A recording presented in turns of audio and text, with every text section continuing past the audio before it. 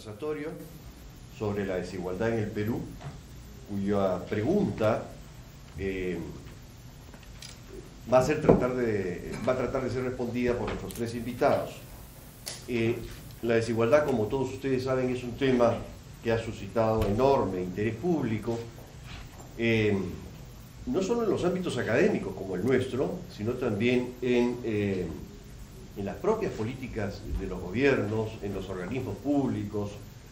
En fin, eh, es un tema recurrente, complejo, de difícil tratamiento, porque nos hace ver aquellas dimensiones del desarrollo que no han sido debidamente satisfechas. Eh, no obstante que a pesar de tener una enorme relevancia económica y social, los estudios propiamente aquí en el Perú, desde los pioneros de eh, Carlos Amat sobre la instrucción del ingreso en los años 70 hasta los más recientes de Germán, eh, al arco aquí presente, no son muchos, la verdad. Y por eso eh, este conversatorio promovido por el Departamento Académico de Ciencias Sociales y Políticas, en asociación con el Departamento de Economía, busca llenar ese vacío. Eh, la idea es que los tres expositores aborden el tema desde una perspectiva de corto, mediano y largo plazo, de manera que la secuencia será en primer lugar la profesora María Amparo Cruzaco, luego el profesor Germán Galarco y finalmente Bruno Seminario. La idea es que nos den marcos generales, pero también reconstruyan las especificidades que tiene el caso peruano. Bien, eh, este es un eh, primer evento que realiza el departamento para honrar a sus viejas glorias. Una de ellas, Jürgen Schul, que nos está mirando por esa cámara, este, que como buen eh, profesor de larguísima trayectoria en esta universidad, merece este reconocimiento por la prolífica labor intelectual que ha desarrollado en la Universidad del Pacífico. Eh, hice un intento por eh, hacer una semblanza de Jürgen. Y me encontré en internet con una biografía que tiene 19 páginas, lo que se parece mucho a las bibliografías que él nos acostumbra a poner en sus libros, que son de 40, 50 páginas. Porque la curiosidad que tiene Jürgen para hacer sus investigaciones, que tienen un rango amplísimo de registro este, y de interés académico, eh, hacen imposible que podamos decir en brevísimas palabras la enorme contribución de este gran economista que es eh, Jürgen Schul. Ha preferido estar ahí en la playa mirándonos, ¿no es cierto?, que venirse aquí someterse al afecto que todos le tenemos y dejarse abrazar y hacerse cariño, pero así lo tendremos en cuenta para el futuro. En realidad, estoy bromeando porque eh, Jürgen oportunamente me dijo que le iba a ser imposible venir, entre otras razones, por su timidez patológica frente a las multitudes. Entonces, de manera que digo todo esto en son eh, de ironía, por supuesto, pero de enorme reconocimiento y cariño. Bien, entonces, sin más preámbulo, eh, dejo eh, a María Amparo con el micro y, que nos haga la exposición. Luego Germán y finalmente Bruno. Muchas gracias. Gracias Felipe. Muy buenos días y muchas gracias por su presencia el día de hoy. En primer lugar, quisiera agradecer a Felipe por haber tenido la idea de organizar este evento. ¿Me escuchan bien? No, no se escucha bien. Ahora sí. Ya, mejor. Okay. Eh, dije que le agradecía al profesor Felipe Portocarrero por haber organizado esta, por haber tenido la idea de organizar este conversatorio. Y también quiero agradecer a la Universidad del Pacífico por la oportunidad de tenerme nuevamente como miembro de esta fabulosa, comunidad académica. En segundo lugar, también quisiera expresar mm, un reconocimiento enorme al profesor Jürgen Schultz quien nos está viendo, tuve el privilegio de ser su estudiante, como todos nosotros, y él promovió entre los estudiantes una comprensión de la economía desde una perspectiva integradora. El profesor Schultz posee una inusual plasticidad analítica que transforma supuestos un tanto restrictivos y les confiere un contenido histórico, sociológico, incluso antropológico y humano. En, otros casos, los análisis económicos optan por incorporar los contextos de una manera estática y simplifican horizontalmente el comportamiento de los agentes económicos, pero no en el caso del profesor Jürgen Schultz. Él siempre propuso y propone perspectivas alternativas de una manera bastante inspiradora. Muchos economistas de nuestra generación, gracias precisamente al impacto de su pensamiento, tienen una formación técnica que les permite la aplicación de distintas metodologías que se complementan, con atención al variado contexto económico y político. Finalmente, quiero agradecer a mis colegas que me acompañan el día de hoy, Bruno y Germán, por su larga amistad, que además se traduce muchas veces en contribuciones compartidas y también en unos intereses académicos similares. El propósito de mi participación es compartir los resultados de un ejercicio de estimación del coeficiente Gini en el periodo 97-2015. Este proyecto está resumido en un paper que se encuentra en un enlace que, si tienen interés, les puedo dar después el enlace, que fue también coautoreado con Bruno y con nuestra asistente de investigación, Cintia Campos. Muchos de ustedes saben lo que es el coeficiente de Gini, pero por si acaso voy a definirlo muy sencillamente. Es una medida de distribución del ingreso y se puede aplicar no solamente al ingreso, también se puede aplicar al gasto y se puede aplicar a, a otro tipo de variables.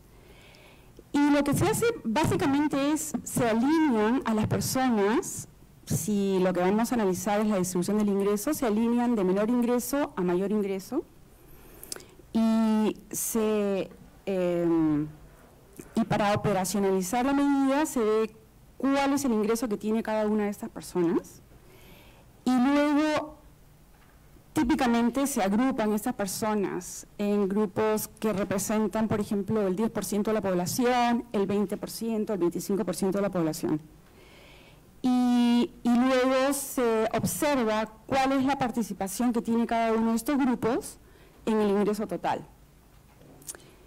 Por ejemplo, si tenemos que el 10% de la población más baja participa el 10% del ingreso, entonces diríamos que, y esto se replica para el resto de la distribución, diríamos que el coeficiente de Gini tiene un valor de cero y que hay igualdad. Eh, y por el contrario, si por ejemplo eh, alineamos a todas las personas y nadie tiene ingreso y solamente la última persona tiene todo el ingreso, entonces el coeficiente de Gini tiene un valor de 100 y significa que hay perfecta desigualdad. Eh, entonces, como nosotros vamos a, voy a estar presentando información sobre el coeficiente de Gini, lo que tienen que tener en mente es que eh, 0 es perfecta igualdad y 100 es perfecta desigualdad. Em, ahora bien, em, a fin de poder estimar eh, el coeficiente de Gini tenemos que utilizar un instrumento y el instrumento que se utiliza es la ENAJO, que recoge información sobre ingresos y sobre gasto de los hogares. Ahora, claramente, la ENAJO tiene una cobertura provincial y son decenas de miles de hogares que la responden. Pero hay una tendencia a que este instrumento, a que su incidencia sea más extensa en los hogares menos afluentes. Eh, entonces lo que va a suceder es que va a haber un error de medición, porque lo que va a suceder es que eh, los hogares menos afluentes son los que van a estar sobre representados y va a haber ausencia de representación de los hogares más em, afluentes. Este error de medición es común en, este tipo de instrumento. Entonces hay analistas que utilizan distintas metodologías para corregir el error. Eh, nosotros vamos a utilizar en ese trabajo, utilizamos una metodología específica, que es la metodología de Lackner y Milanovic, de un trabajo que ellos hicieron en el año 2013. Esta metodología básicamente lo que hace es compara cuál es el ingreso que se proyectaría a nivel nacional sobre la base de las senados eh, que sería, digamos, el ingreso nacional, y eso se compara con información que tenemos de cuentas nacionales. Y son dos instituciones distintas que las van a reportar, el INE y el Banco Central de Reserva. Entonces ahí hay una brecha, y esa brecha se asigna al eh, decil superior siguiendo una distribución de Pareto. Esa es básicamente la, eh, la metodología que se sigue en nuestro trabajo a fin de reestimar los coeficientes Gini. Deseamos evaluar dos hipótesis, y las hipótesis son la primera, si es cierto que la tendencia de la desigualdad en el Perú sigue una tendencia internacional eh, registrada en un grupo de países donde se ha elevado la concentración. Entonces esa es la primera hipótesis. Y la segunda hipótesis es si es que existe evidencia de un mejoramiento de las colas es decir, un mejoramiento relativo de los deciles inferiores, eh, de las clases menos afluentes y de las clases más afluentes, del decil superior o incluso del 1% superior. Entonces esas son las dos cosas que nosotros vamos a, mirar con esta estimación.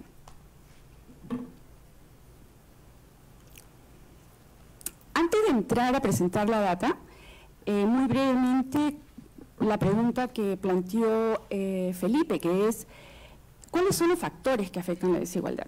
Esto es un tema bastante complejo, sumamente complejo. Y hay estudios que han sugerido cuáles pueden ser estas razones. Personalmente, me parece que la primera razón, en el caso de la sociedad peruana, es una característica eh, que es una característica histórica realmente de una sociedad eh, postcolonial, y es una heterogeneidad estructural en la eh, misma sociedad peruana, donde coexisten distintas formas de organización de la vida y de la producción,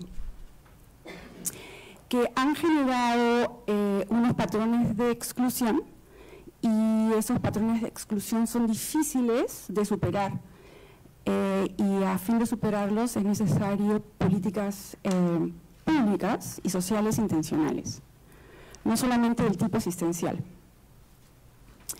Eh, podemos luego en la sección de preguntas y respuestas ahondar un poco más, pero ese es un tema bastante complejo y difícil y profundamente interdisciplinario. Y luego las otras razones que existen en la literatura son las que se indican en esta eh, en esta página y es, por ejemplo, la propiedad de los activos productivos eh, que afectan la distribución funcional del ingreso y cuál es la participación que tiene el trabajo y cuál es la participación que tiene eh, las rentas de capital. Una tercera, un tercer factor es la educación y las habilidades. Y aquí, desafortunadamente, alcanzar un nivel de educación y ciertas capacidades es, eh, o sea, se encuentra también segregado y entonces replica, a, menos que hayan esfuerzos a fin de permitir más meritocracia y, poder permitir que eh, haya una, un incremento en el ingreso acorde con el nivel educativo que alcanzan eh, las personas. El cambio tecnológico también es un factor importante y aquí hay que poner atención en si el cambio tecnológico va a ser ahorrador de la mano de obra o no. Y si es ahorrador del empleo en una economía como la nuestra, obviamente se va a tener que ajustar el crecimiento demográfico porque eh, van a haber sustanciales niveles de desempleo. Y eh, entonces ese tipo de cambio tecnológico en vez de crear oportunidades eh, va a disminuirlas. Y nosotros tenemos aquí un aspecto que también es muy importante, que es el aspecto eh, del tipo de crecimiento económico que tenemos, que se basa en nuestros recursos naturales, es una economía extractiva, Y precisamente ese tipo de, eh, mm, de, crecimiento económico es un, en el caso de la, de la minería, tiene efectos multiplicadores, sí, pero no son efectos multiplicadores que sean demasiado extensivos. El caso de las bombas es un caso muy importante, porque ha estado recientemente en la prensa, y ahí vemos que es una mina, una de las ocho minas más grandes del mundo, eh, que genera aproximadamente en ventas 2.500 millones de dólares. Y el, valor neto de producción de un año, digamos que es la mitad. Y si eso lo dividimos entre las 8.000 personas que trabajan ahí, resulta que hay una productividad de la mina que es aproximadamente 100.000 dólares por año, ¿no? Y, eso es como 10 veces la productividad eh, a nivel nacional mm, indicada por el per cápita, que corregida por PPP es eh, alrededor de 9 mil dólares. Eh, obviamente, una economía que tiene un mayor grado de oligopolio o monopolio va a ser una economía donde los precios registran márgenes de ganancia más altos y en consecuencia, digamos, eso lo tienen que pagar todos los consumidores. Entonces, la incidencia, o si tenemos mercados importantes que son oligopólicos, y no quiero poner de ejemplo la industria que hemos estado mirando en los últimos cuatro años, eh, es una industria financiera de, ahorro de largo plazo, previsional. Entonces ahí, ahí vemos un ejemplo claro de, cómo los, eh, los márgenes de ganancia son altos y entonces eso genera también un, afecta el, el poder adquisitivo de las personas. Y finalmente los ciclos económicos. No voy a hablar mucho de eso, sino me voy a quedar ahí en las razones. Hay gente, hay analistas que creen que después de todo no está mal que haya desigualdad. Porque cuando hay desigualdad, entonces hay ingreso que es concentrado en los grupos afluentes, que son los que ahorran. Y, el ahorro luego financia la inversión. Esa hipótesis ha sido refutada con evidencia porque no necesariamente ese ahorro se traduce en inversión productiva, sino que podría ser un ahorro que se traduce en inversión especulativa, en el incremento, en la valoración excesiva de los activos financieros, de incluso la propiedad predial, etc.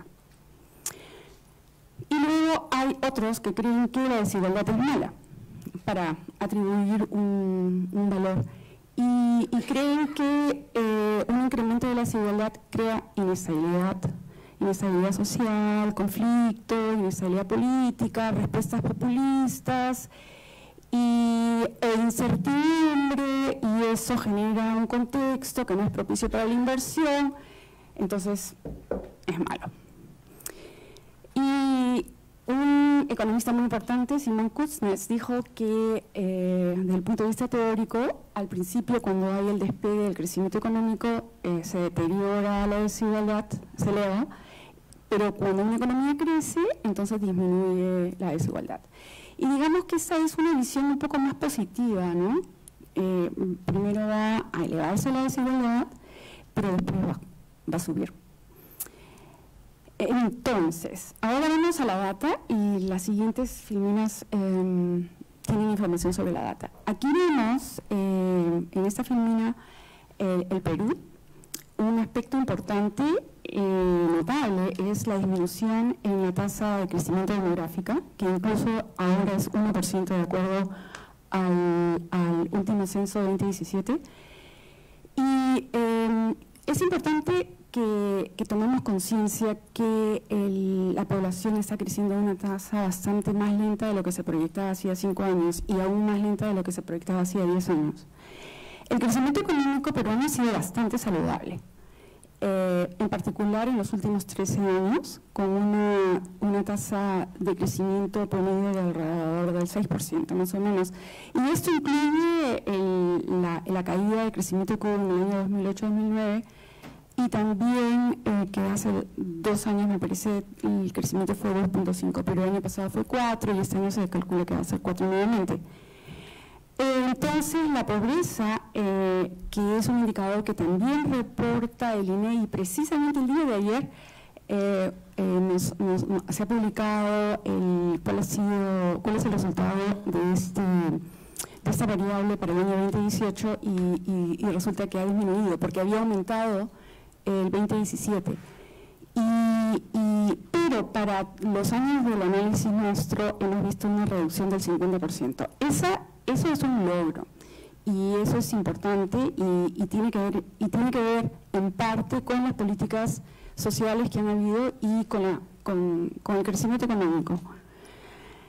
Ahora bien, eh, yo eh, mm, en realidad aplaudo eh, que el Instituto Nacional de Estadística e Informática corrigió su serie de Gini. nosotros cuando publicamos este trabajo, ya nuestra serie está desactualizada porque el INE publicaba que para el año 2015, por ejemplo, 2014, eh, el coeficiente de Gini alrededor de 30, 33%, 35, 35, perdón, 35, 33. Ese nivel de Gini, de coeficiente de Gini, eh, corresponde a una economía como las economías nórdicas, a países que son sumamente eh, iguales. Y nosotros nos sorprendíamos que ese dato, que, que, tuvieran ese dato, ese Gini para el Perú.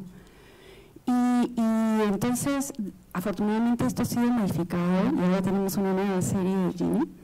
Y eh, como se puede observar, el Gini está en alrededor del 44. ¿no? Eh, o sea que hay, hay desigualdad. No hay ningún país que tenga cero, o sea, los, los valores más bajos son 30. Y los valores más altos sí son como 60, y por encima de 60 eh, publicados por el Banco Mundial. Entonces acá tenemos dos series, la del INEI y la del Banco Mundial, y se nota que no ha habido una, reducción, sustantiva y que estamos alrededor del 40. Eh, acá brevemente el, histograma es la pobreza y se nota que hay una reducción de, al, al 20% más o menos.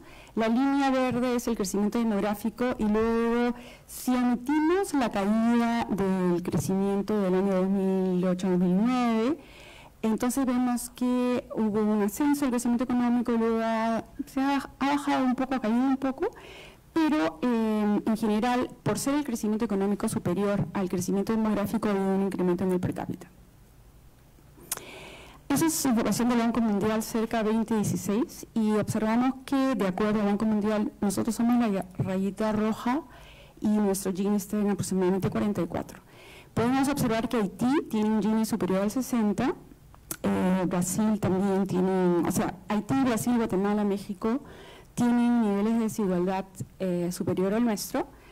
Sin embargo, la desigualdad en México ha empezado a disminuir y también en Brasil. Y en cambio, Dinamarca, Suecia, Eslovenia, eh, Eslovaquia tienen, eh, tienen de acuerdo al Banco Mundial inferiores al 30. Eso es excelente. Entonces, esos son nuestros estimados. Los, eh, las dos líneas superiores que están en gris y en amarillo son los Ginis del ingreso y del consumo respectivamente.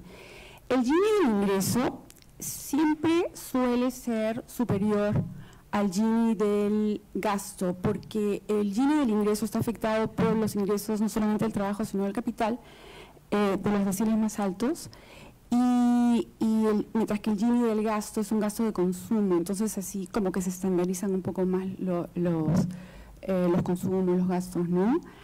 Eh, y también debemos de observar que eh, los deciles superiores son los que realmente ahorran, son los que tienen capacidad de ahorro.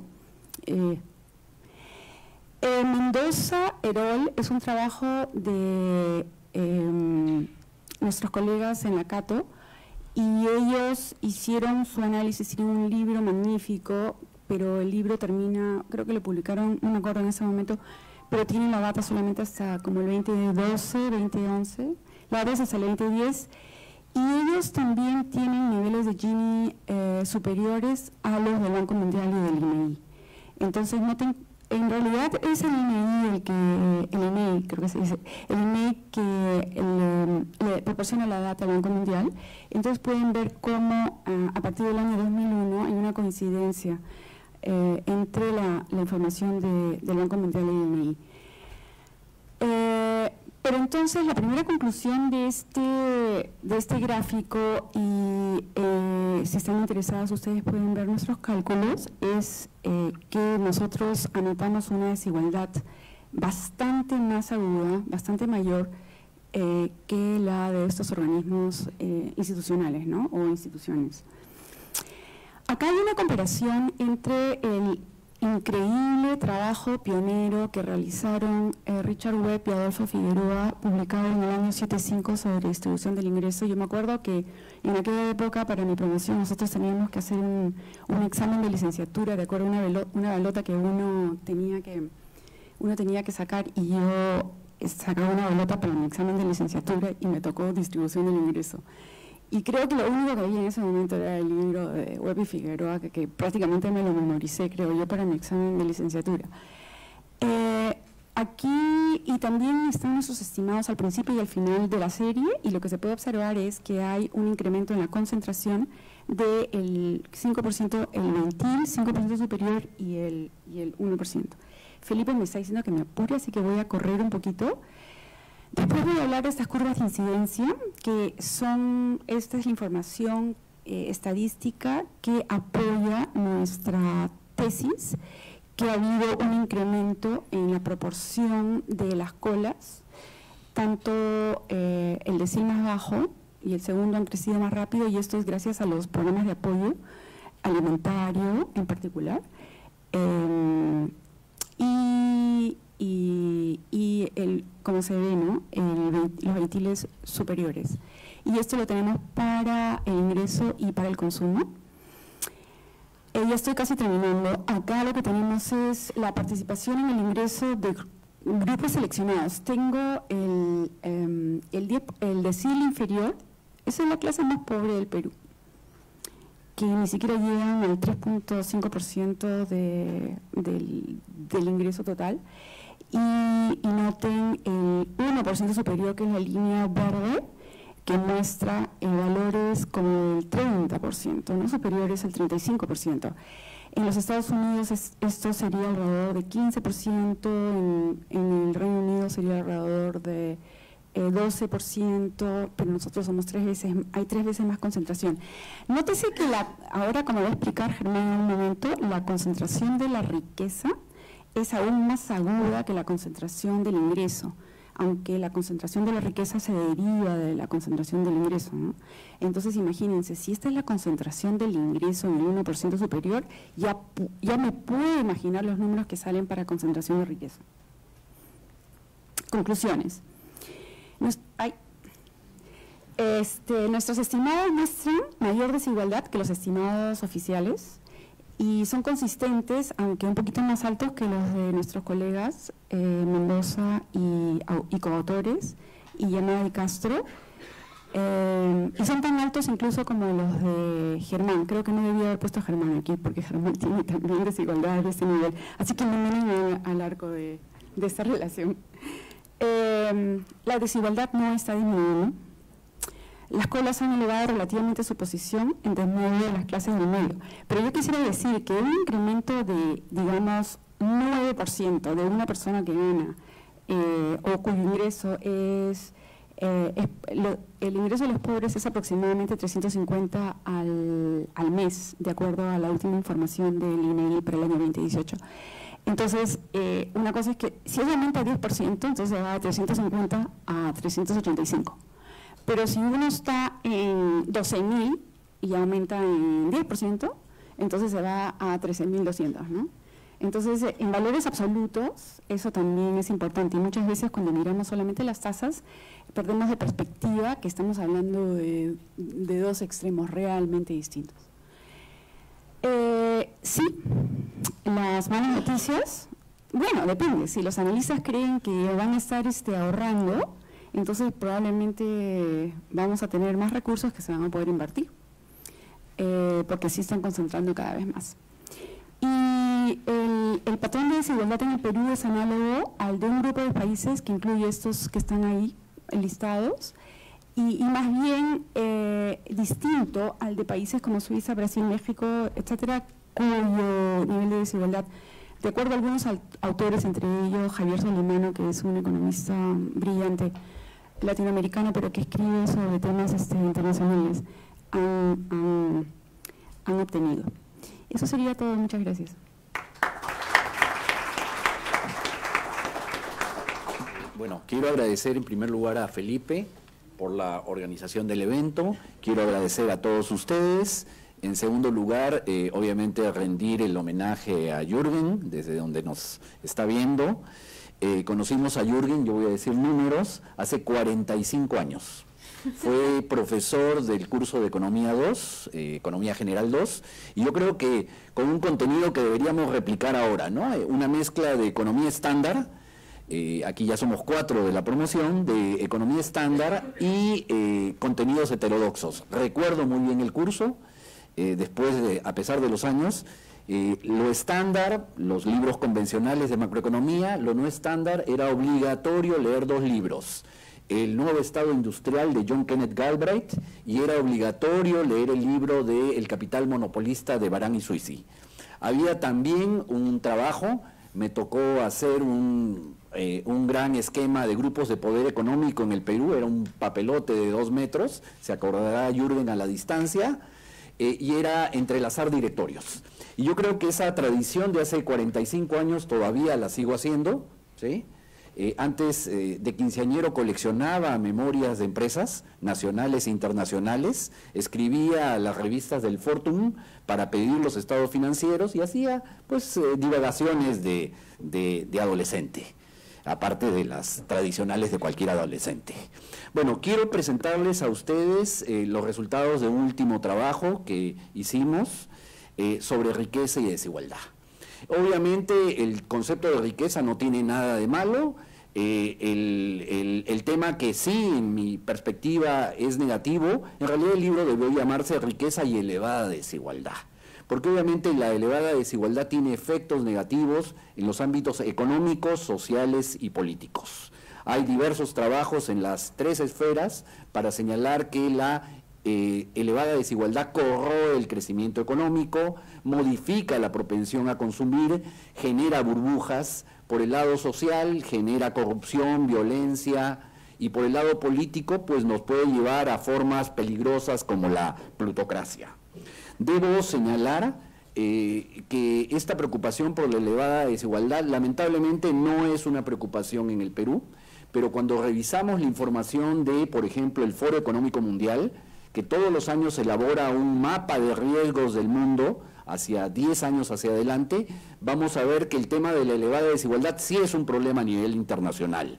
Eh, vemos los diamantes, vemos los rombos, los diamantes son tendencias, los rombos son los riesgos y dentro de ellos, hacia el lado eh, inferior derecho, ustedes lo van a ver, está el tema de la elevada, la elevación de las disparidades en el ingreso y la riqueza. Y eso ven los empresarios del mundo. Lamentablemente los del Perú no ven problema alguno en el asunto y lo colocan al mismo nivel que eh, vemos en la parte superior, eh, cambio climático, degradación del ambiente, y eh, vemos, obviamente, y están perfectamente ligados con incremento de la polarización de las sociedades, con incremento profunda hacia adentro de inestabilidad social, etc. Esto es, mientras en el mundo los empresarios se preocupan de la elevada desigualdad, en el Perú no. Y yo creo que este evento sirve para llamar la atención en el tema. Es un tema importante, es un tema peligroso, es un tema que conforme a la evidencia que se presenta aquí, eh, refleja, y vamos a comentarlo en un momento, que la situación tiende a deteriorarse y no a mejorar. Eh, lo segundo que tengo aquí es a propósito de lo que se comentó previamente, un mapa que está en el libro de riqueza y desigualdad para tratar de armar el rompecabezas. El tema de la elevada desigualdad es un tema multifactorial, multidimensional, y lo que nosotros pretendemos hacer es anotar en la línea de los economistas clásicos. Eh, partir desde la distribución de la riqueza, luego la distribución factorial o funcional del ingreso, para de ahí llegar a explicar qué pasa con nuestra distribución personal, qué pasa con nuestros Ginis, qué pasa con nuestra pirámide de distribución, de ingreso, etc. Y ese fenómeno está explicado por elementos estructurales, por elementos de la política macroeconómica, hablamos factores hacia arriba, eh, sociales de movilidad social, factores económicos para la movilidad social, factores familiares y personales. Pero partimos desde abajo. En el caso del Perú, desde el tema de lo étnico, la posesión de los activos productivos, de ahí la distribución factorial y de ahí los factores que conducen hacia la personal. Quiero partir entonces señalando algunos datos sobre la distribución de la riqueza eh, debo señalar que no existen datos oficiales sobre la materia, lo que existe es información de diferentes agencias y bancos privados de inversión.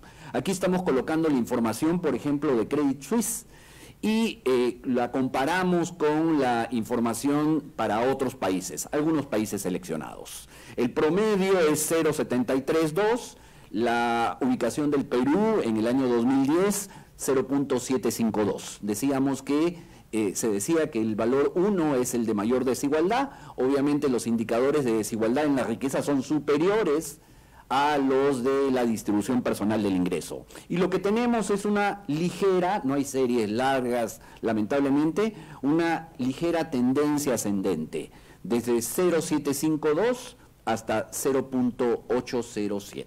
¿sí? Aún la información de los eh, eh, banqueros privados internacionales reflejan esta realidad. Eh, un fenómeno que hay que vincular a esto, en el libro aparece con mayor detalle, es que el gran instrumento para este proceso de concentración de la riqueza lo podemos ver en los o a través de las fusiones y adquisiciones empresariales. entre, en los últimos 25 años, el valor de estas operaciones ha sido de 90 mil millones de dólares. Estamos hablando de equivalentes al 41% del producto. Eh, yo insisto, hemos sacado artículos académicos en revistas internacionales sobre el tema, que el tema no es solo su efecto sobre los precios, es su efecto sobre la distribución factorial del ingreso su efecto consiguiente con la distribución personal y esto afecta también negativamente el crecimiento económico. La elevada desigualdad a través de su vehículo moderno, que es las fusiones, es un peligro social. Eh, aquí alguna información que ha pasado con el peso de los grupos económicos en el Perú. Las series son cortas, lamentablemente. Eh, los grupos económicos definidos en este caso por la información de Perú Top indican que estos tenían el 22.9% de la producción nacional, ahora tienen en menos de 10 años un punto más. Esta es la participación de los grandes billonarios, información de Forbes respecto del PBI mundial. Algo de esto todos los años publica Oxfam también y lo que vemos es que los súper ricos del mundo van incrementando su participación en el producto. Y esta es la información para América Latina. La información de América Latina es más corta y también tiene una ligera tendencia creciente. Es creciente con fluctuaciones. Y quiero anotar los datos que están en el lado superior izquierdo. En 2014, los billonarios peruanos eh, tienen activos equivalentes al 22.8% del ingreso de los más pobres del país. Al 2017, esos mismos billonarios peruanos tienen activos, no tendrían, tienen equivalentes al 25.9% del ingreso de los más pobres del país. Esto es, los más ricos, los billonarios, tienen del 22 al 25.9. Y las 32 familias más ricas eh, reportadas por Boston Consulting Group, con activos mayores a 100 millones de dólares productivos, eh, concentrarían en ese año el 32.9% del ingreso de los más pobres del país. Este es un trabajo que hicimos en el libro, hay que agradecer también a César Castillo, a Fabio Leiva, a eh, Martín Astocóndor y a los asistentes Vicut, Paola y Fabiola que nos ayudaron en este trabajo y lo que hicimos es un intento de variable de riqueza eh, con base en información oficial. Para buena suerte de nosotros, la Superintendencia de Banca y Seguros eh, publica información sobre concentración de depósitos. Y lo que hicimos fue, lo publica para personas naturales y personas jurídicas. Lo que hicimos fue calcular los Ginis de esa distribución de los ahorros. La línea continua son los datos observados, la línea punteada es la tendencia. Es decir, esta información parcial en relación a la riqueza proporcionada por los banqueros privados internacionales y empresas consultoras se corrobora en el caso de la información de posesión de activos financieros. La tendencia hacia la concentración de los depósitos de todas las modalidades en el sistema bancario personas naturales es una tendencia creciente. Eh, de ahí pasamos, decíamos, primero riqueza, segundo factorial y luego personal. Y lo que vemos es, no le gusta a muchos historiadores jóvenes, analizar cuál ha sido la trayectoria de la participación salarial en el producto. Lo que tenemos como línea continua son los datos observados, lo que tenemos como línea punteada son la tendencia mediante el método de Hodrick-Prescott, que es un equivalente a un promedio móvil tamaño 10. Y lo que observamos es lo que, pues los que yo, ya somos mayorcitos, que hemos sido alumnos de, de Jürgen hace 45 años, es que en los años 60 eh, la participación en el producto de los salarios era más alta, obviamente, que la actual. Obviamente de los 90 para aquí ha habido una mejora de la participación, pero nada que ver respecto de los estándares observados en los años 60. Y de ahí lo que vemos es las caídas, obviamente explicadas por las grandes crisis que eh, comentará eh, Bruno más adelante. Una gran caída en los años 90, una recuperación posterior más ligera. Los años 60 reflejando este fenómeno internacional de la edad de oro del capitalismo.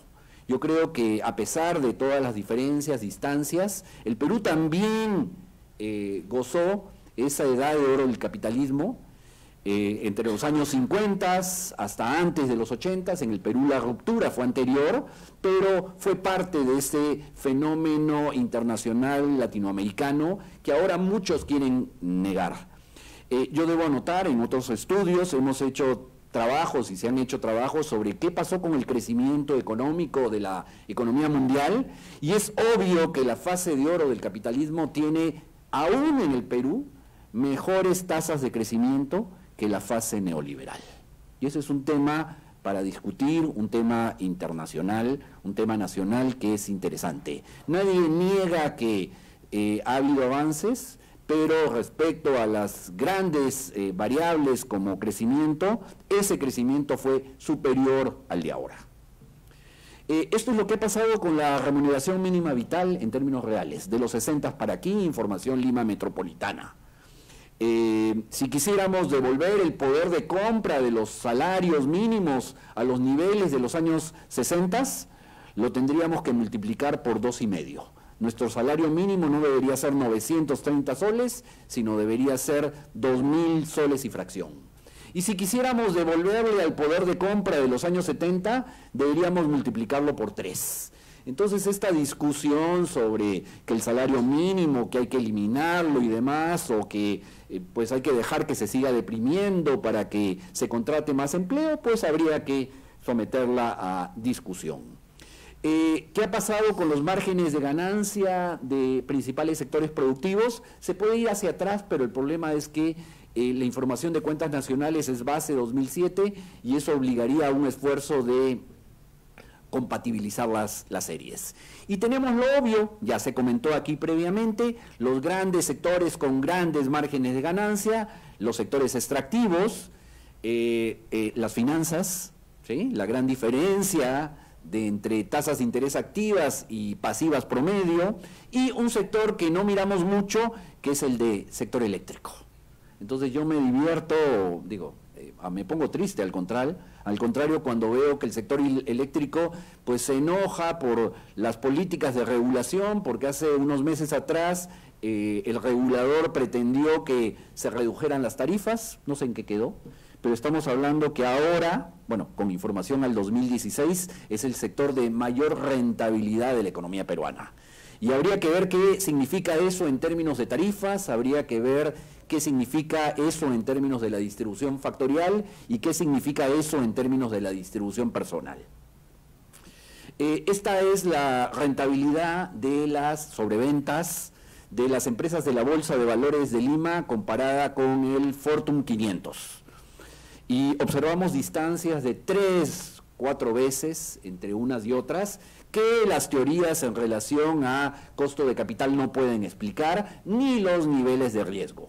Los márgenes de rentabilidad de las empresas peruanas están claramente por encima de los estándares y por encima de los criterios de medición eh, basados en riesgo. Eh, esto es lo que ha pasado con las ganancias, una tendencia creciente. A partir de los años 2012 la tendencia es ligeramente decreciente porque como se comentó también, eh, todo depende de la estructura productiva y si los márgenes y los precios internacionales de la minería cayeron, pues obviamente eso me genera un efecto negativo sobre el excedente de explotación. Eh, aquí estamos comparando un poco la participación de los salarios respecto del PBI, respecto de América Latina, respecto de Estados Unidos. Dirán, todos estamos parecidos. No, es que hay que leerlo cada quien en su eje. El Perú hay que leerlo en el eje izquierdo, con niveles entre 25 y 41%, ese es el rango. Y en cambio a las economías desarrolladas de América Latina hay que leerlas en el eje derecho, entre 30 y 60. Esto es la participación de los salarios en las economías más desarrolladas y respecto del promedio de América Latina son superiores claramente a los estándares latinoamericanos.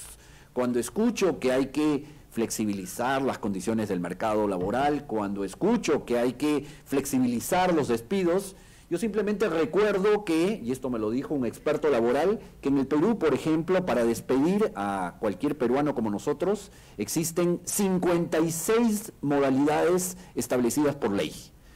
Entonces, cuando me dices que hay mucha rigidez, pues, perdón, contrata un buen abogado y utiliza una de las 56 opciones. No es tema de esta presentación, pero lo manifiesto así claramente. Eh, aquí una información que no gustó a algún medio eh, es dividir la información oficial por estratos. Eh, ¿Cuál es el PDI per cápita peruano? Y dividirlo en términos de qué pasa con el 10% más pobre y el 10% más rico. El 10% más pobre tiene ingresos anuales entre 965 y 2 mil dólares, dependiendo de si es dólares corrientes, constantes o de paridad de poder adquisitivo. Y el 10% más rico eh, entre 20 mil y 40 mil dólares, eh, dependiendo del indicador. En el caso del 10% más pobre, por ahí tengo, estamos equivalentes al nivel de Chad, Zimbabue eh, y otros países africanos. Obviamente el 10% más rico de la población está a niveles de Portugal, está a niveles de República Checa, también está en una de las mediciones a niveles del promedio de Gran Bretaña. Tenemos un país fraccionado, dividido, que es obvio. Eh, sí, eh, aquí presento eh, la información que ha mostrado María Amparo y Bruno sobre distribución eh, personal y la nuestra, que es el escenario 2, que es eh, distribuir ese 50% del ingreso nacional no explicado. Eh, no lo comentó María Amparo, pero cuando extrapolamos la encuesta nacional de hogares a nivel nacional, resulta que determinamos un ingreso nacional que es la mitad de lo que se reporta en las cuentas nacionales, aproximadamente. Esto varía año con año pero es el número alrededor de eso. Entonces lo que hay que hacer es un esfuerzo de reasignar ese 50% entre los más pobres y los más ricos. Lo que hicimos en este caso fue un ejercicio de simulación de Monte Carlo, varios escenarios, dijimos 5% para los más pobres en uno de los escenarios, 95% eh, para los más ricos, esto se itera, eh, ya no me acuerdo si dos mil veces, y lo que resulta es que prácticamente el Gini de la distribución personal se mantiene en la misma dirección de los resultados que se mostraron anteriormente.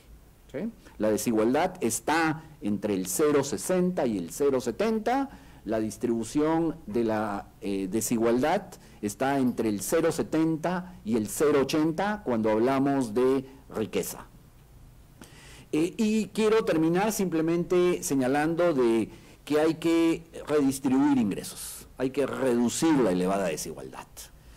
Eh, y yo creo que simplemente voy a anotar una serie de ideas, que lo primero está en un artículo que está eh, integrando, ya el libro está integrado, que está trabajando Felipe, es que yo no puedo hacer redistribución del ingreso a la fuerza. Esa es la primera idea. Lo primero que, que hay que hacer es crear un nuevo consenso económico social, donde los trabajadores importen, donde no solo sean los empresarios, ¿sí? Y me lleva esto a una reminiscencia relativa a lo que era el modelo de oro del capitalismo, a la fase de, del oro, donde había una suerte de balance entre capital y trabajo. Hay que pensar acciones de coordinación internacional, hemos retrocedido en esto, hay que pensar en que el actor principal de la redistribución del ingreso es el Estado. Debo notar que la presión tributaria OCDE del Perú es información del año 2016, 16.1%, el promedio de América Latina es 22.5%, si tomáramos información del 2017 ya no es 16.1, sino 15.3%, estamos hablando de una brecha de 6% del producto en mayor recaudación que hay que obtener, estamos hablando de 14 mil millones de dólares. Eh, obviamente la lista, no voy a entrar eh, a, las cosas que habría que hacer en términos tributarios, lo podría hacer porque esto ya lo venimos trabajando desde un tiempo atrás. Y como se ha dicho, el tema de la desigualdad elevada no solo se enfrenta por cosas tributarias, sino se enfrenta al día, día con día con una serie de elementos. Hay que ver y analizar con cuidado el tema de las asociaciones públicas privadas, hay que eh, analizar, fortalecer a Indecopi, realmente. Hay muchísimo por, por hacer, hay que introducir competencia al sistema financiero a través de COFIDE, a través del Banco de la Nación, para promover que esos spreads de la banca comercial se reduzcan, hay que evaluar qué pasa con el cambio tecnológico, la información que tenemos hacia adelante de los estudios sobre los efectos de la inteligencia artificial, robotización, nuevas plataformas tecnológicas, nos llevan lamentablemente a decir que este problema de la elevada desigualdad, en lugar de mantenerse, se va a acrecentar si es que seguimos con los brazos cruzados. Muchísimas gracias. Yo también quiero comenzar agradeciendo a Felipe por la idea y a Germán por haberme invitado y por supuesto agradeciendo a Jürgen que nos está viendo. Lo que les voy a presentar es una perspectiva de la desigualdad en el largo plazo. En, efectivamente durante la era republicana. Nos hemos arreglado para construir una proxy del Gini, ¿ya? que en una que parece bastante sensata en el sentido que corresponde muy bien con las distintas épocas históricas del Perú. Y examinar esta serie nos ayuda un poco para entender las distintas fuerzas que pueden haber determinado la evolución de la desigualdad. Un primer punto que hay que comprender y que antes estaba claro, no hay que confundir la desigualdad con la pobreza, que son dos hechos diferentes. ¿no? Lo que dicho se aplica solamente a la desigualdad. Y vamos a empezar con el resultado. Lo que tienen ahí es lo que le ha ocurrido al coeficiente de Gini, de esta proxy, en los últimos 200 años. Examinando esta serie pueden concluir, por lo menos, este, pueden extraer tres cosas o tres conclusiones básicas que se mantienen. En primer lugar, de que el Gini en la época actual está alcanzando un récord histórico. ¿ya? Es probablemente el valor más alto que se ha alcanzado en los últimos 200 años. ¿ya? Es mayor que el Gini en la época colonial, mayor que el Gini en la era del guano y mayor que el Gini este, en cualquier época histórica. En realidad el valor histórico se alcanzó al finales del gobierno de Fujimori y luego ha descendido un poco, pero el descenso ha sido un, este, considerablemente menor. La segunda conclusión o evento a explicar es que efectivamente en la era colonial la desigualdad era más baja que en la era actual.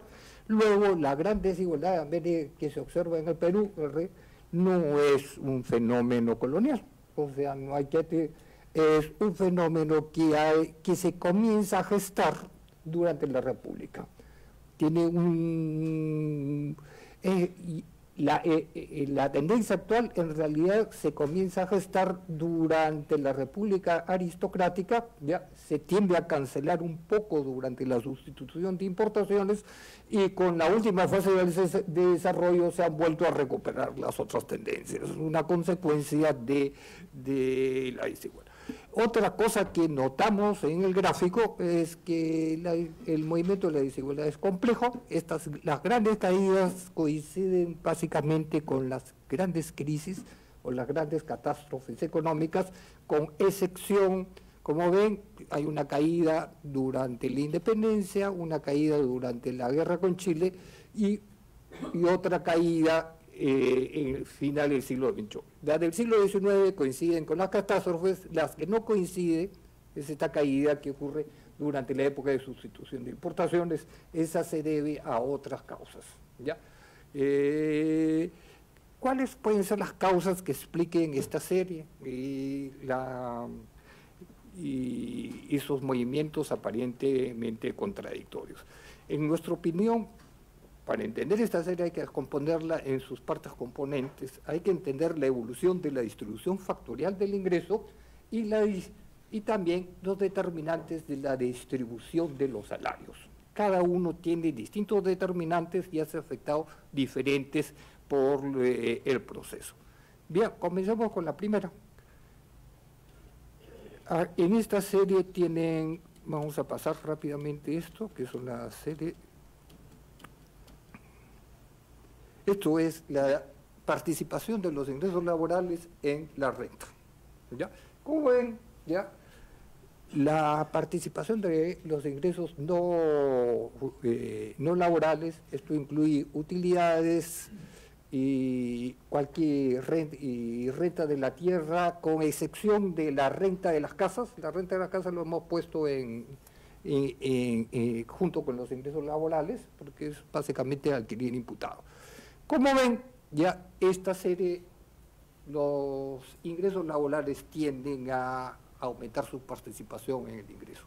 ¿ya? Como estos ingresos no laborales tienden a ser concentrados en el decil superior, esta tendencia de los ingresos no laborales tiende a hacer subir el Gini, y eso es lo que explica, y es lo, es lo que básicamente explicaría ya de por sí una tendencia en el ingreso. Esto es difícil de entender a la gente, pero lo que las sociedades agrarias no tienen ya coeficientes de desigualdad elevados.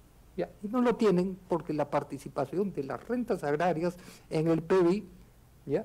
es reducida, no pasa de 10 o 20%. Las sociedades que pueden generar Ginis elevados son las donde no existe una participación fuerte de las utilidades y son las sociedades modernas capitalistas. Si ustedes observan cualquier trabajo de haciendas coloniales e, o incluso de la minería en, las finales de la época colonial, van a ver que la renta de esas haciendas nunca pasa de 10% del PIB. Y si ustedes observan la participación de las utilidades de una empresa minera actual, pues, eso puede ser tranquilamente 70, 80% del PIB. O sea, la diferencia se refleja en una fuerte tendencia en la distribución del ingreso. Si observamos la participación de las utilidades de una empresa moderna como Google o Apple, van a ver que la tendencia se mantiene. O sea, en realidad la participación del capital, o sea, eh, de, los, de los trabajadores en el ingreso tiende a disminuir en el tiempo. Ese es el primer factor. ¿ya? Por un conjunto de causas que no tiene sentido discutir. Por eso, un componente vital para entender la dinámica de la desigualdad es entender cómo se mueve la distribución funcional del ingreso.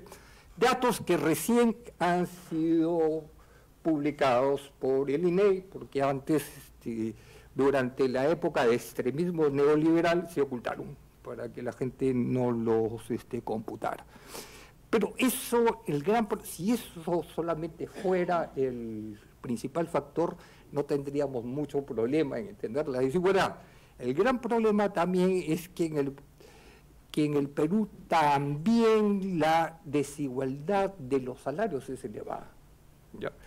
Y la desigualdad y, y, por y la desigualdad de los salarios es elevada básicamente por el dualismo estructural. ¿ya? Es elevada porque las productividades de los distintos sectores económicos y las productividades de los distintos ingresos es elevada ya este, por la configuración del país. Acá, como no tenemos datos muy precisos de salarios, ya hemos tomado como proxy para la ah, distribución de los salarios varias evidencias fragmentarias que tenemos. Una de ellas es una encuesta que se hizo de remuneraciones en 1860 y, eh, los datos recientes del ENAO y un conjunto de evidencias que no les puedo explicar claramente. Pero cuando juntan todas estas evidencias, tienen la curva que, que, está ahí, que nos da la distribución de probabilidad en el tiempo. Esto es una curva en tres dimensiones, ¿ya? Y Básicamente, lo importante en esta curva, que lo que revela la curva es que la distribución de la productividad del Perú y por lo tanto de los salarios es bimodal. ¿ya? Tienes una moda, la moda superior, que, que, de bajos ingresos, donde está concentrada el sector tradicional de la economía, y tienes una moda ¿ya? De altos ingresos que, de ingresos superiores. Eso va a generar, tender a generar un Gini elevado. Fíjense que contra lo que se cree, ya la, el dualismo estructural tampoco es colonial, tampoco es del siglo XIX, el dualismo estructural viene del, es relativamente reciente. Ustedes lo pueden percibir ahí, fíjense cómo está la moda de acá y cómo es la moda de acá, más o menos comienza a gestarse hacia 1930. ¿ya? Es decir, en la era de la República Aristocrática. Este dualismo estructural va a tender a elevar el Gini, acá tienen las curvas de distribución del ingreso, ¿ya? y acá tienen las curvas de distribución del ingreso en el siglo XX. Eh. Esto, eh, eh, esto tiende a aumentar el Gini de los salarios, Y tiende a provocar esto. Como ven, ya, si ustedes ven, antes la homogeneidad de, partimos de una economía donde era, que era relativamente homogénea en la época colonial, donde no existían grandes desequilibrios regionales, donde el ingreso de las regiones del Perú eran relativamente similares. Ya, esta homogeneidad se rompe con la independencia cuando comienzan a crecer de forma desigual las distintas regiones del país. Y este crecimiento desigual de las regiones ya es el que genera crecimiento desigual en los salarios en el corto y mediano plazo, conforme se van igualando, esto va generando desigualdad. El periodo de mayor desigualdad es precisamente el de la guerra con Chile, el que se inicia durante la República Aristocrática, como ustedes pueden ver ahí, ¿ya? y la desigualdad continúa subiendo casi ininterrumpidamente hasta 1930, 1940, ¿ya? y a partir de 1940 vuelve a descender durante la época de oro del capitalismo, ¿ya? y, y últimamente ha vuelto a aumentar. ¿Ya? estos desequilibrios regionales te afectan ya el Gini del trabajo. Cuando combinan estos desequilibrios regionales ya con los este, con las tendencias de la distribución funcional del ingreso, tienen el resultado complicado que tiene hacer.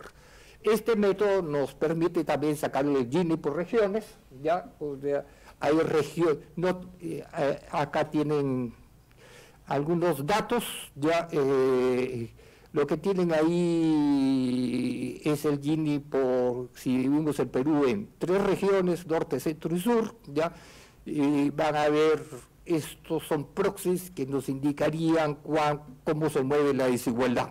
Les dejo para que vean el PowerPoint porque en realidad no tengo mucho tiempo. Ya, este, acá tienen la contribución de cada región al Gini de los salarios. Eh, como ven, en resumen, es eh, la región que genera, que aporta decisivamente a la desigualdad es la región central, donde está localizada Lima y donde están localizadas las minas, ¿ya? mientras que el sur tiende a disminuir la desigualdad por ser la región de menor ingreso per cápita, mientras que el norte tiende a aportar o disminuir la desigualdad dependiendo de la estrategia de desarrollo.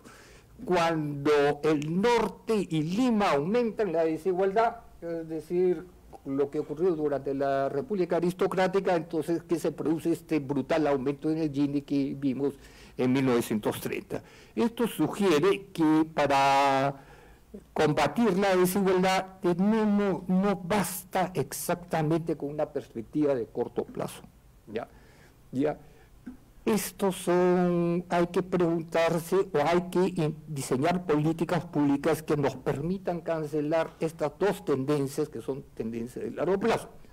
En primer lugar, ya es poco probable que la desigualdad disminuya si seguimos con una estrategia de, crecimiento basada en sectores cuya, donde la participación del capital es 80%. Ya, cosa es que se sigue insistiendo. O sea, para la única forma de disminuir la desigualdad es tener sectores que sean intensivos en mano de obra, definiendo la intensidad de mano de obra como la participación que tiene la mano de obra del sector. O sea, con, una estrategia extractivista tipo basada en la minería, estamos con sectores de 80%, con eso es imposible, vamos a seguir aumentando la participación de las utilidades en la distribución del ingreso. El segundo impacto es que también hay que preocuparse de la dinámica de la, de la desigualdad, regional, eh, desigualdad salarial. Y la desigualdad salarial es básicamente una consecuencia de las desigualdades regionales. Y ahí viene el problema, porque esto es más difícil de cancelarse. Porque las desigualdades regionales eh, son muchísimo más complicadas de entender. Esto es básicamente, en nuestra opinión, una consecuencia de la forma como la tecnología de la revolución industrial interactúa con las eh, características de la geografía peruana. ¿ya? Esta interacción entre la tecnología de la revolución industrial no es la máquina de vapor, no son las máquinas industriales, la tecnología de la revolución industrial que nos afecta es la tecnología de transporte, ¿ya? y la tecnología de comunicaciones que ingresa en los mercados y la tecnología de transporte de la revolución industrial perjudica ¿ya? o perjudicaba a la región perjudica las regiones de la sierra y beneficia las regiones de la costa. Y esto es lo que produce el dualismo. No le, entonces, las políticas necesarias para cancelar esto serían, este, tienen que ver mucho con la forma como conceptualizamos la infraestructura en el país. ¿ya? Eso te permite, sin esas políticas se, va a ser bastante difícil controlar este, la desigualdad este, regional. Eso es todo, gracias.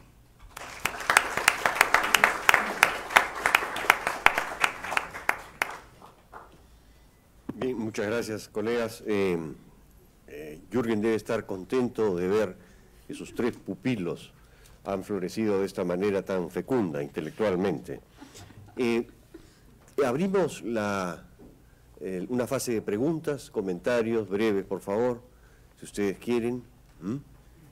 Acá hay. Acá adelante, por favor.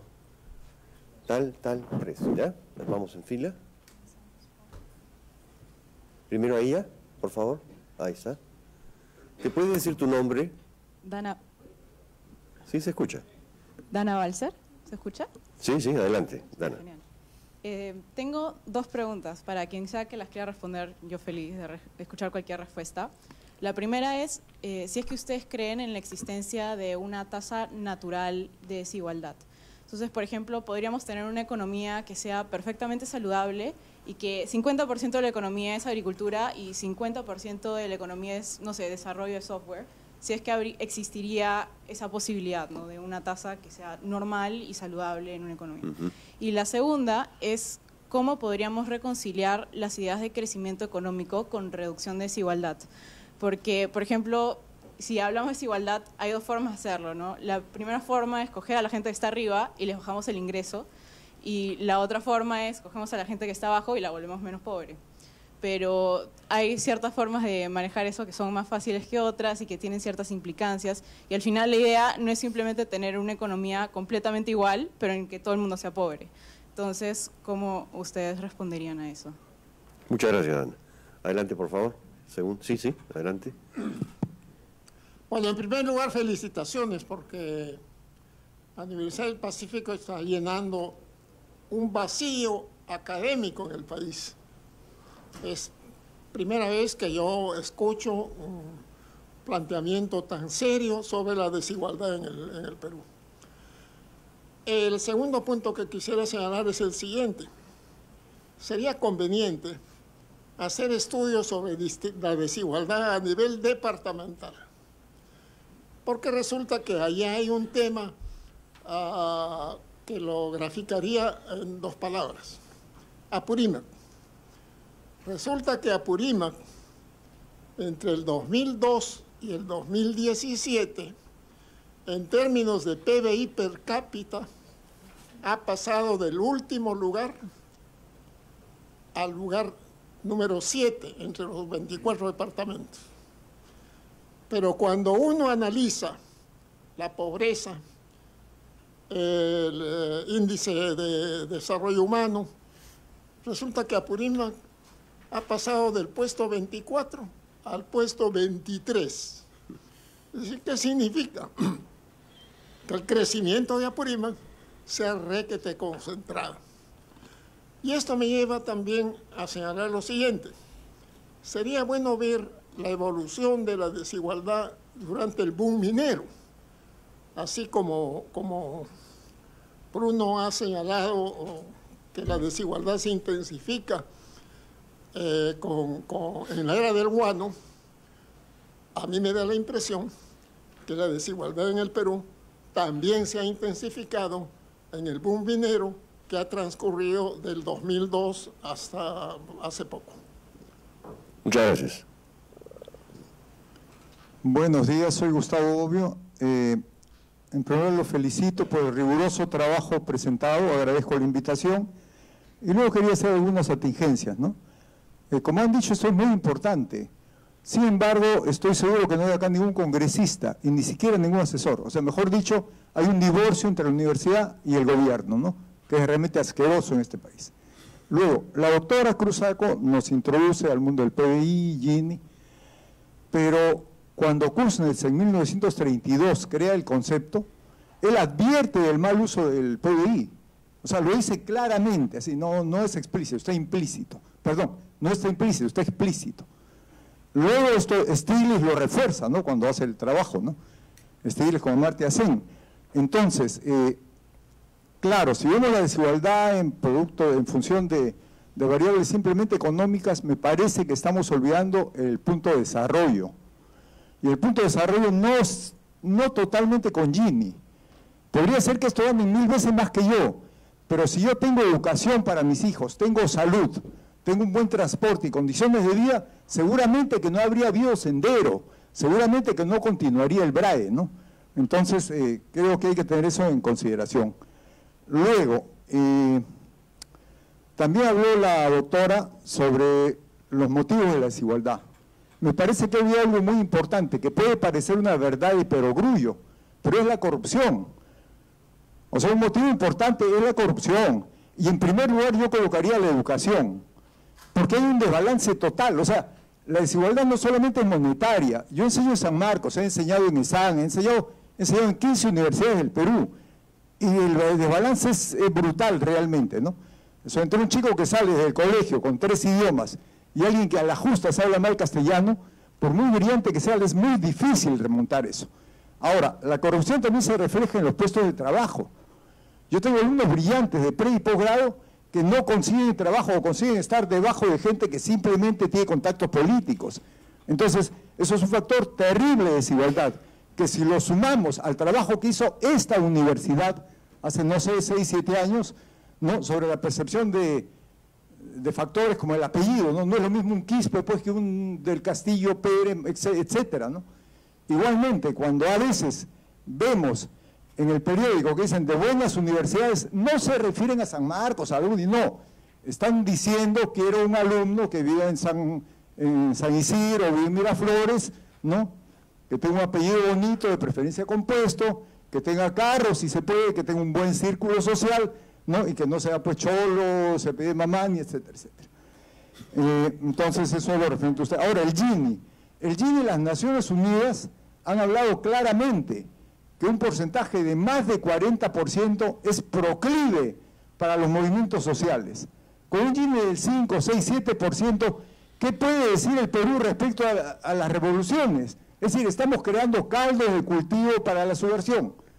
¿no? Y luego la subversión la disfrazamos con el nombre de terrorismo y la hacemos odiosa para todos, cuando no. La subversión es un movimiento natural de los pueblos cuando se rebelan. Por si acaso no se me puede tirar de terrorista, pues soy general de ejército. ¿no? Ya. Sí, pues es... Eh. Luego, eh, felicito acá al doctor Alarcón, Alarco, perdón, eh, muy bueno, claro, yo vengo años hablando de la, evolución del drawback, ¿no? Es una evolución asquerosa, ¿no? Pero ahí está, pues sí, claro, me verán los importadores, ¿no? La minería es otro caso. He tenido un tercer doctorado en ciencias ambientales, no dejan pasar mi tesis, porque mi tesis es una tesis sobre el impacto de la minería, no sé si la voy a regalar, de repente la publican, ¿no? Bueno, eh, ¿ya está? Todavía. Ahora, si los casos, si los casos me voy a no... No, no, la idea era tener intervenciones breves para bueno, que... pero lo he escuchado muy atentamente, entonces por favor escúchenme. Ya. Luego, el doctor Bruno Seminario nos habla de la desigualdad, etcétera. Muy bien, pero yo realmente tengo dudas, después lo voy a buscar, porque a mí me parece que hay un, hay un, no un error, sino un horror, ¿no? Cuando decimos de un Gini de 0.55 durante la colonia, a mí me parece que sería uno, o sea, sería un caso único de uno. Pero voy a ver qué variables habrá tenido, pues bueno, está muy ocupado para haberlas presentado, pero 0.55 yen en la colonia, es todo, ya lo dejo. Muchas gracias, muy amable. Es una pequeña ronda de respuesta, por favor, ¿no? María Amparo, ¿seguimos el mismo orden? Sí. Sí, gracias. Dana, muy buena tu pregunta. Excelente pregunta. Eh, la pregunta de Dana es si es que hay una tasa natural de, desigualdad. Eh, bueno, eh, si existe, que sea pues 25, ¿no? O sea, es indudable que solamente un régimen totalmente totalitario, socialista, etcétera, etcétera, te va a generar un Gini coeficiente de cero, ¿verdad? Entonces, eh, y, eso, es, eso es imposible, ¿no?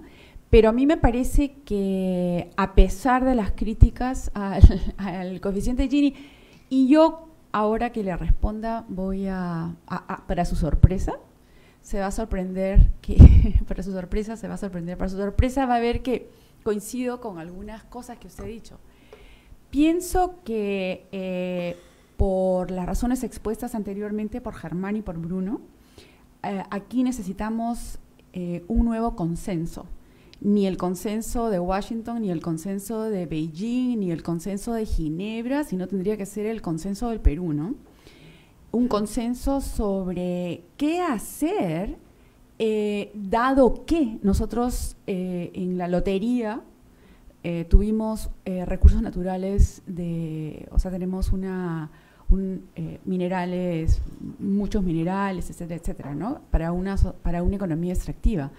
Pero, como en algunos otros casos, el caso de Noruega, por ejemplo, viene a colación, que hay una administración de la renta, eh, de la riqueza, en beneficio de la población y eh, a fin de incrementar la protección social y cubrir los riesgos, las contingencias de corto, de mediano y largo plazo de la población.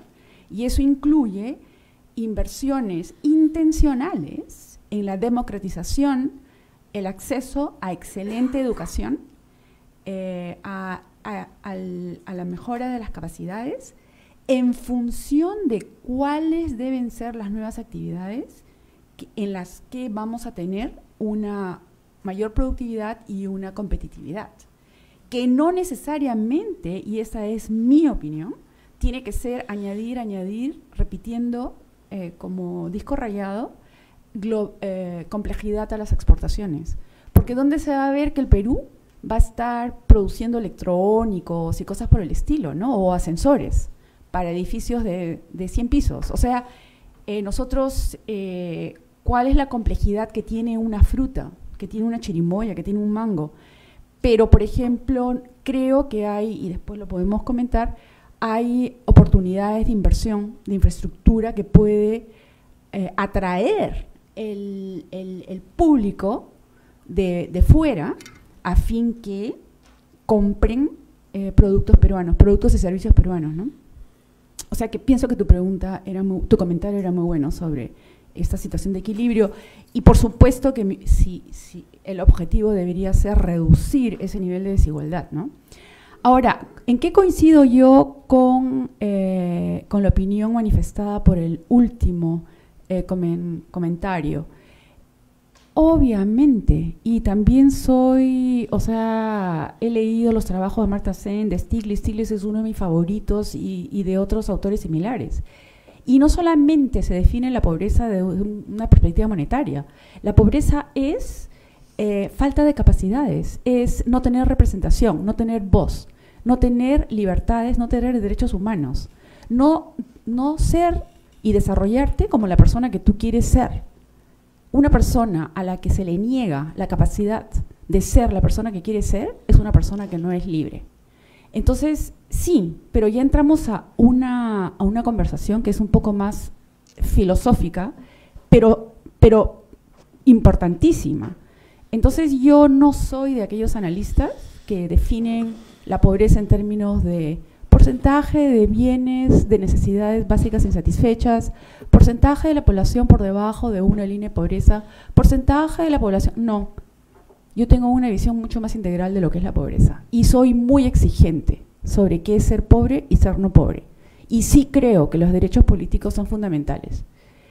Eh, entonces, em, con relación a Purimac, usted está dando en el clavo. O sea, he ahí el típico ejemplo donde el per cápita no dice nada, donde eh, es, se, ha se debió y en realidad había el canon, ¿no? Y supuestamente el canon iba a ser transformativo, etcétera, etcétera. Yo no soy especialista, así que yo no debo opinar, pero me da la impresión que que lo que ha sucedido en, en Apurímac, y, desde, usted dijo desde el año 2202, o sea que son 17 años, eh, eso es un poco lo que Bruno dice, proyectándolo 200 años, que ha venido sucediendo, ¿no? O sea, no vemos una sustantiva mejora de lo que es la calidad de vida y las oportunidades de la población con estos modelos de crecimiento que, eh, son no solamente, eh, que son excluyentes.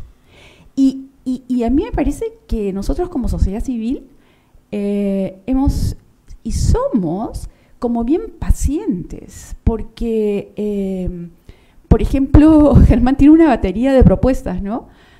una reforma tributaria para empezar, una reforma laboral, etcétera, etcétera. Eh, y, cada vez que... Bueno, lo voy a dejar ahí mejor.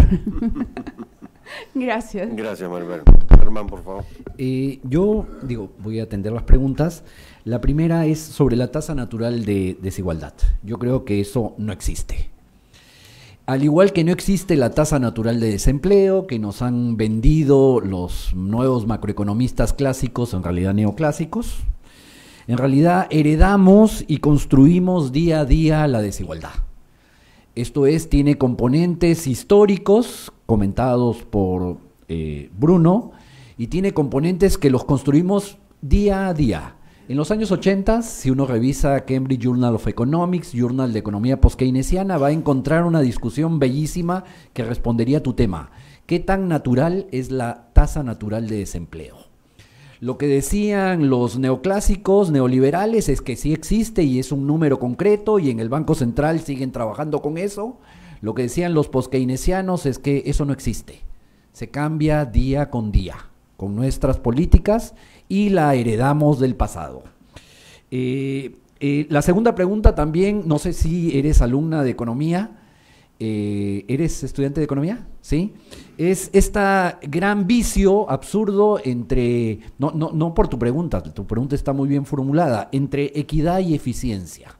Esa es otra gran mentira que nos venden los economistas neoclásicos.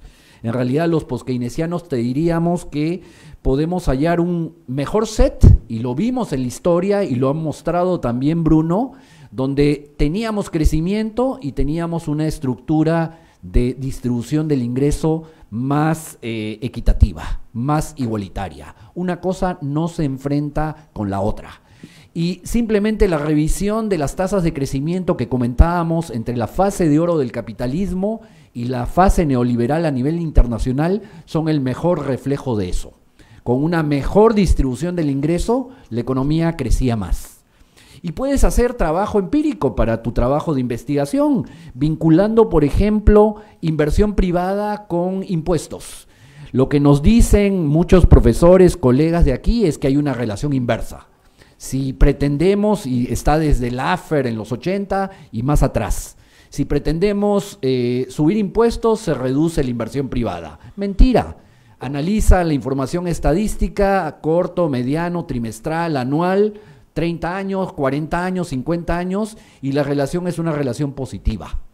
Y cuando, y esto lo podemos reflejar en el manejo de la política macroeconómica en los Estados Unidos, ¿no? Donde están los ofertistas y ahora Trump que reducen impuestos y que creen que la economía norteamericana va a crecer más. Sí, va a crecer más en el muy corto plazo, pero lo que vamos a tener como resultado final es un hueco gigante en las finanzas públicas. Eh, hay trabajos, eh, hay uno en el American Economic, eh, perdón, el American Economic Review de hace dos años que compara lo que es el desempeño macroeconómico de demócratas y republicanos. Republicanos disminuyendo impuestos y lo que ha ocurrido es que los republicanos que hablan del equilibrio fiscal han desequilibrado más las finanzas públicas que los demócratas y los demócratas han logrado mayores tasas de crecimiento. Esto es, hay que abandonar ese dilema de equidad y eficiencia y eso que te enseñan en la macroeconomía de la tasa natural de desempleo, la tasa natural de desigualdad no existe. Esa la heredamos y la construimos día con día. Tiene toda razón Otoniel cuando habla de la minería. Lo comentó también Bruno, lo comentó María Amparo. Eh, simplemente anotar, esos 8.000 empleos que se dicen en las bambas no es un número cierto. Esos son, bueno, es un número hablando de empleos directos e indirectos. Los empleos directos son 2.500. Estamos hablando que el multiplicador es alrededor de 2.5 para llegar a los 8.000 trabajadores. La inversión era 5.000 millones de dólares entre 2.500, eh, la creación de un empleo de la gran minería es 2 millones y medio de dólares. En una empresa industrial como Alicorp son 150 mil dólares por cada trabajador ocupado. Esto es, eh, este patrón de mayor desigualdad se explica por nuestra estructura productiva. Cuando hablamos de estas inversiones, son inversiones que generan muy poco empleo, que generan arrastre, pero muy poco arrastre, eh, inventó mis amigos de, del IPE un multiplicador del 10. Eso es totalmente falso y equivocado. El multiplicador de la inversión es alrededor entre 2, 2 y 3. Eh, eh, un cuarto comentario es que yo sí insisto, las políticas sociales son útiles, son útiles para reducir la pobreza extrema. Eh, esto se está presentando en un documento en el libro de, que coordina Felipe, pero no son útiles para enfrentar la elevada desigualdad. Y un último comentario es que no puede haber igualdad de oportunidades, a mi juicio. Un poco el gobierno y, y las últimas décadas decimos, bueno, vamos a mejorar política focalizada, programas sociales, pero yo insisto en que no puede haber igualdad de oportunidades con elevada desigualdad. Esto es, la igualdad de oportunidades se logra enfrentando la elevada desigualdad. No podemos dejar de mirarla. Muchas gracias, Germán. Bruno, por favor. Sí. Yo quiero comenzar este, comentando las atingencias de Otoniel y cómo y la forma más sencilla de solucionarlas. En realidad, cada vez que hacen una mina pasa el mismo problema. Lo mismo ocurrió con Cajamarca y ahora no me extrañaría que ocurriera con Abancay. Eh, básicamente ahorita todo el ingreso debe estar concentrado en la mina y el resto debe ser el eh, Apurímac normal. Hay dos formas de tratar esto. Ya.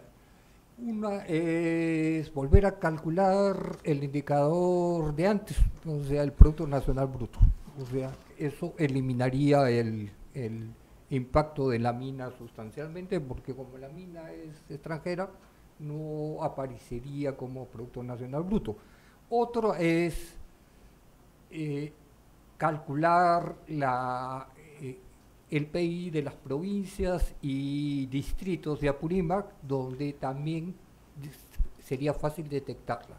El gran problema eh, en realidad ahorita tenemos una técnica que nos permite aproximar el PBI de las provincias y distritos, con lo que podríamos intentar aproximar la desigualdad a nivel de departamentos, regiones o grandes.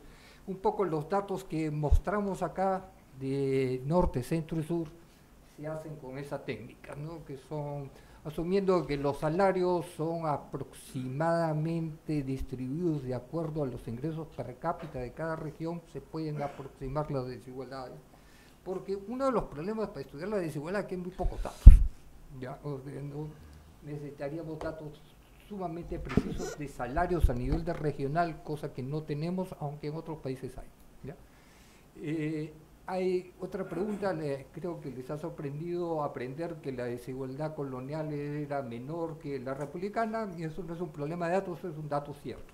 ¿ya? O sea, la, era, la razón era porque la participación del excedente en el PBI era muchísimo menor en la economía colonial, al ser una economía agraria, ninguna hacienda tiene 70% de excedente de explotación, con la cualquier revisión de los trabajos que hace, hacen como Hacienda da cuenta de que la Hacienda es 10% de participación en el PIB, máximo 15, es una hacienda moderna, una mina o un banco tiene 80% de utilidad. ¿ya? O sea, como esa renta no es distribuida uniforme, eso disminuye el Gini en una sociedad colonial.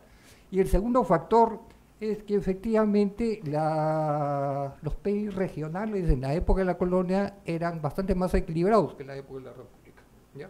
O sea, los el diferencial de ingresos entre Apurímac y Lima era muchísimo menor en la época colonial que ahora. ¿ya? Ahora, básicamente, casi duplican el ingreso, en la época colonial no salía de uno tercio. Como consecuencia, no es que sorprenderse, el, ingreso en la época de la colonia era menor que en la época de la República. O sea, la desigualdad es en realidad una consecuencia del capitalismo, no, la colonia no tiene nada que ver con este, la desigualdad. Eh, bueno, este, eh, ah, como les digo, es importante estudiar este tema, a estudiar atentamente lo que está ocurriendo a nivel regional porque efectivamente los datos van a demostrar que muchas de estas inversiones, especialmente las extractivas, tienden a concentrar el ingreso de los departamentos que aparentemente su ingreso per cápita está subiendo. Esto es un poco un efecto de que Jürgen inventó, es el efecto Bosquimán. ¿ya? Que se refiere a Botswana, que es uno de los países, que según el Banco Mundial era uno de los países más exitosos de, África. ¿ya? ¿Por qué? Porque eh, Botswana produce diamantes. ¿ya? las minas aportan el 80% del PIB de África. ¿ya? Y la población de Botswana está que se muere de hambre. ¿no? entonces, las minas tienen a producir el efecto bosquimano, ¿no? o sea, donde tienes una empresa multinacional que produce el 90% del PIB y la población viviendo son las características que bien detalla Otoniel. Muchas gracias. Una ronda más, por favor. Buenos días a todos. Este, mi nombre es eh, Gino Hidalgo. Eh, soy de la selva, orgullosamente tarapotino. Este, y bueno, pues eh, he escuchado los tres grandes profesores y en verdad este, lo que me importa más es este, una pregunta que tengo referencia a la Amazonía, porque yo vengo de la selva. Eh, la pregunta sería, ¿qué medidas debemos tomar o aplicar para reducir la desigualdad en la Amazonía? A sabiendas de que tenemos los mismos recursos, pero las ciudades no, son, no son este, iguales, somos distintas. Yo por trabajo viajo eh, entre Iquitos, Pucallpa y mi, mi, ciudad, Tarapoto. Y vengo de una familia que hace empresa. Y directa o indirectamente aportamos a la economía de mi ciudad y de, estas tres ciudades. Por eso justamente eh, al hablar que somos distintos, distintas, porque mucha gente dice la selva de la selva. O sea, Tarapoto es igual que Iquitos y, y Pucallpa es igual que Tarapoto. Y estamos equivocados somos distintos desde la materia, desde el punto de vista eh, de educación, desde el punto de vista de la actividad económica, y etcétera. Por eso justamente yo le pregunto a, cada uno de los tres, o me puedo responder uno solo, qué medidas o qué, eh, o qué, eh, o qué cosas debemos aplicar o medidas debemos aplicar para reducir la desigualdad en la Amazonía. Gracias. Gracias también. por acá, por favor.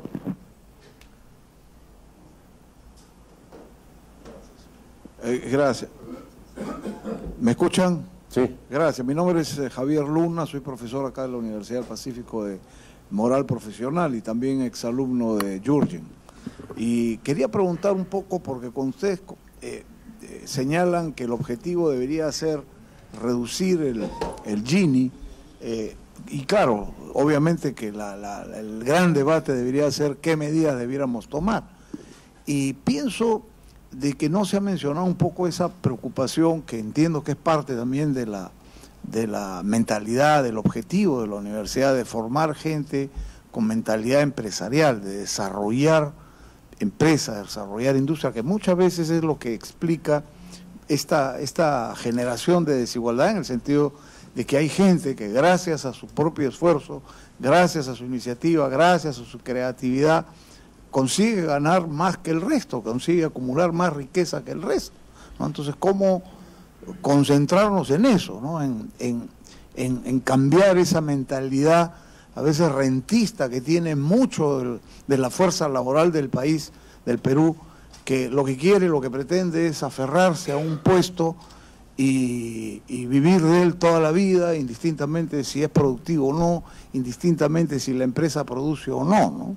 Y una de las cosas que, me gustaría comentar con respecto a lo que tú decías, Germán, de la eh, flexibilidad laboral, o sea, en ese sentido no soy un experto, pero lo que estábamos viendo en una de las instituciones a las que estamos en estos momentos dándoles un programa, un diplomado, una institución pública, que uno de los principales problemas que ellos tienen es justamente eh, la, la rigidez laboral con su personal, donde mantienen a mucha gente eh, que ya está con, la estabilidad laboral y que son los menos productivos, ¿no?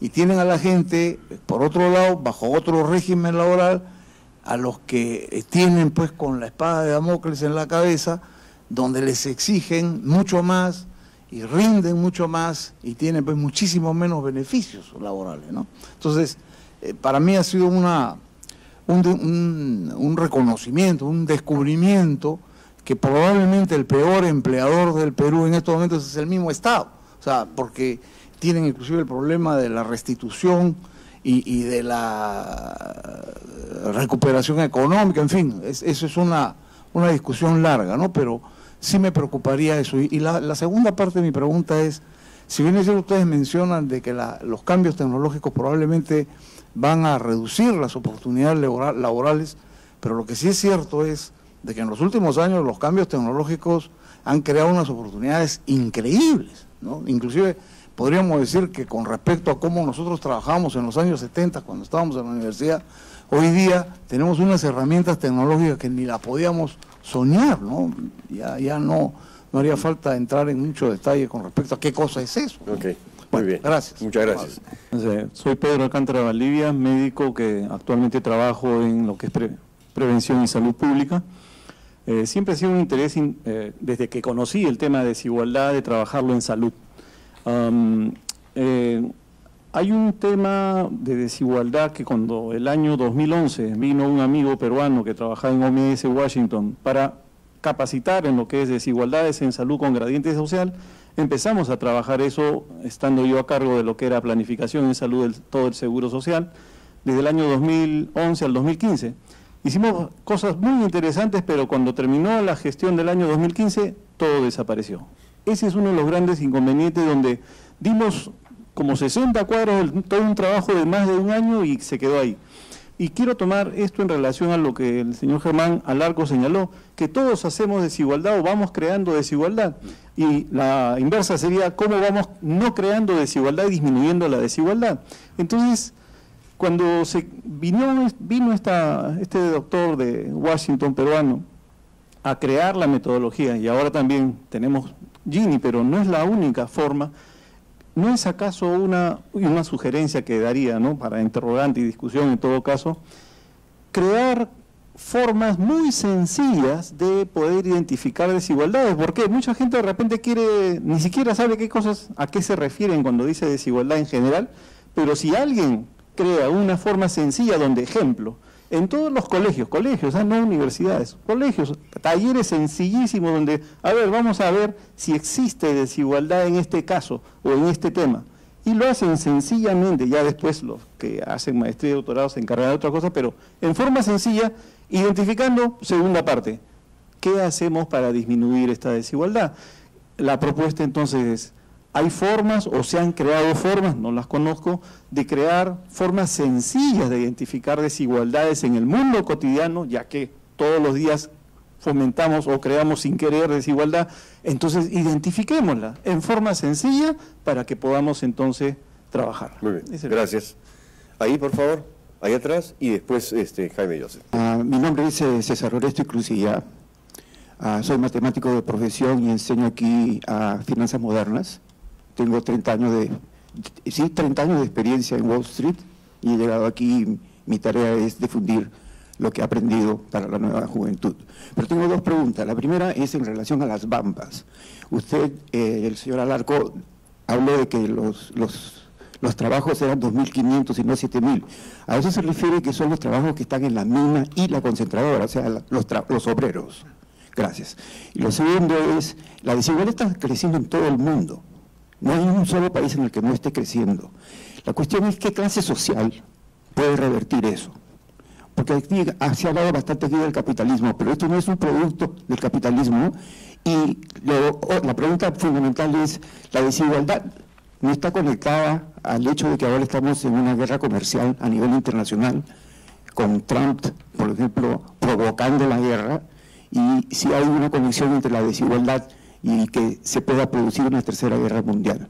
Cuando le pregunté esto a mis alumnos, que eran 19, 15 levantaron la mano diciendo que ellos sí van a vivir una guerra mundial. Y solamente cuatro dijeron que en realidad se abstuvieron. Yo creo que la solución tiene que encontrarse con un cambio total, no, no, no con reformas. Stiglitz es un reformista, ¿no? Koeman es un fanático de los demócratas. Pero esa era mi pregunta fundamental, ¿qué clase social puede hacer el cambio? Gracias. Gracias. Jaime Joseph, por favor, ahí a la esquina, Ana. Con esta cerramos. Bueno, eh, muchas gracias por el, el evento y por las ponencias. No puedo hacer otra cosa estando acá aprender, pero pensar qué tiene que ver con Jürgen. Eh, disculpen, este Bruno al final sí aludió. Yo he trabajado con Bruno como con Bruno, con Jürgen como 20 años en la escuela de líderes de Lima Norte, la cuenca, etcétera. Y ahí es donde Jürgen nos enseñó a pensar un poco fuera de la caja, ¿no? Viniendo de la Universidad del Pacífico, hablaba de autocentramiento, de priorizar la producción desde adentro hacia adentro. Y eso nos y el rol de las ciudades para articular los territorios. Para mí esos temas siguen siendo centrales. Este, y me gustaría ver si el panel tiene tiempo o interés, qué relación tiene con esas miradas para salir de los indicadores que nos van eh, afectando y cómo nosotros podemos articular el trabajo en los territorios, recordando esas ideas matrices de, de Jürgen que para mí de nuevo siguen, siguen siendo tan vigentes y tan olvidados. La reconcentración de nuestro país, y puedo decir nuestro país, soy migrante del norte, pero vine en 66, entonces algo he aprendido salvo hablar bien el castellano. Entonces, yo quisiera aprovechar, eh, si Jürgen todavía está mirando este, este, evento, cuántos cigarros, cuánto café habrá consumido, este, realmente me parece muy ah, vital lo que él nos ha enseñado. Y más he podido seguir a Germán en otros eventos, sé que hay un nexo, pero creo que el nexo lo tenemos que hacer más concreto en los análisis y sobre todo en las respuestas. De nuevo, les agradezco la posibilidad de aprender. Gracias, eh, Bruno, por favor, ¿puedes comenzar ahora esta ronda? ¿Te animas? Efectivamente, cuando uno examina los datos y trata de explicar la dinámica del coeficiente de Gini a lo largo de la historia, ¿ya? Uno se da cuenta de que por qué aumentó la desigualdad y por qué aumentaron los desequilibrios regionales, ya haciéndose la pregunta. Y una de las respuestas es que efectivamente en la era colonial el Perú era más integrado que ahora en términos de la tecnología de transporte que teníamos disponible enormemente. En realidad, antes casi todos los pueblos de la sierra y la costa tenían, no tenían ninguna desventaja con respecto a los pueblos de la, de, la sierra, porque todos estaban unidos por las antiguas eh, vías de comunicación que no que era muy fácil hacerlas porque eran vías de animales. ¿ya? como no tenían desventajas comparativas, este, efectivamente este, no es sorprendente que el desarrollo regional haya sido uniforme. ¿Qué es lo que ocurrió? Es que en el siglo XIX vienen las tecnologías de transporte de la revolución industrial, que básicamente son transporte aéreo y carreteras. ¿ya? Esas carreteras generan desventajas comparativas, desventajas naturales, que el Estado pudo cancelarlas pero también cambia su óptica. ¿ya? En lugar de, de eh, diseña carreteras y ferrocarriles desde una óptica extractivista, no desde una óptica de generar un mercado interno. Casi todas las obras de comunicación que hemos hecho, que hemos hecho tantas, están diseñadas para sacar materias primas, ¿ya? hacia acercar esas materias primas hacia el mar. ¿ya? Y esas obras tienen, esas obras de comunicación tienen un impacto regional muy limitado. ¿ya? Las obras que necesitaríamos para generar la integración de los polos de desarrollo de la sierra son no, no deberían ser concebidas de norte a sur, es decir, para unir los puntos de aglomeración de la sierra decir en concreto qué carretera necesitamos. Necesitamos unir, conectar Cajamarca, que, está, que es un departamento desconectado, conectar Cajamarca con el centro del país y, ahorita, y eso con el sur. Hasta es hacer una gran carretera que comience en el lago Titicaca y termine en la frontera con Ayacucho. Eso actuaría, en- es- esa carretera produciría en unos 10 o 15 años una fuerte disminución de los desequilibrios regionales y a la larga una disminución en la desigualdad. Esa carretera nunca ha sido priorizada, nunca ha sido porque se le considera demasiado caro y porque se enfatizan las eh, carreteras extractivistas. ¿no? El ferrocarril que están planeando es un ferrocarril extractivista, ¿no? O sea, no es un ferrocarril para lograr conectividad de pueblos agrarios. Eso es este, una, eh, la óptica de la inversión pública en realidad hay que cambiarla y eso es lo difícil, o sea, casi de- y, y para poder en realidad disminuir la desigualdad, las bases estructurales de la desigualdad eh, en el largo plazo. Esto es un proceso gradual, o sea, y pasa, como te digo, por fijarse en el desarrollo local y el desarrollo regional y la forma como este, disminuirlas en, en el tiempo. Eh, hay eh, un segundo punto que necesitamos crear nuevos instrumentos para eh, poder a- analizar la parte de desarrollo regional. O sea, normalmente nuestras esta- estadísticas son demasiado concentradas, centralizadas, basadas en resultados promedios. Las evidencias que tenemos es que los promedios nacionales representan muy poco, el Perú es muy diferente en términos estructurales. Por ejemplo, el ingreso promedio del Perú, casi el 95% de los distritos tienen un ingreso por debajo del promedio. O sea, no es una variable que nos sirve de nada. Están tan sesgados por Lima que en realidad tenemos dos países metidos acá. Y, y el gran problema de la desigualdad es la brecha que existe entre el sector moderno, que es básicamente Lima y algunos departamentos del sur, algunos ni siquiera departamentos, sino algunos distritos del sur, ¿ya? Y, y el resto del país. Y en buena cuenta, el resto del país tiene un ingreso per cápita muy semejante al de cualquier país africano, mientras que este sector moderno tiene un ingreso per cápita muy similar al de un país avanzado. Es un país muy diverso estructuralmente. Un tercer cambio metodológico es que hay que abandonar esta teoría media tonta que introdujo de Soto, ¿no? o sea, de concebir el dualismo estructural como un problema tributario. El dualismo estructural no es un problema tributario, ¿ya?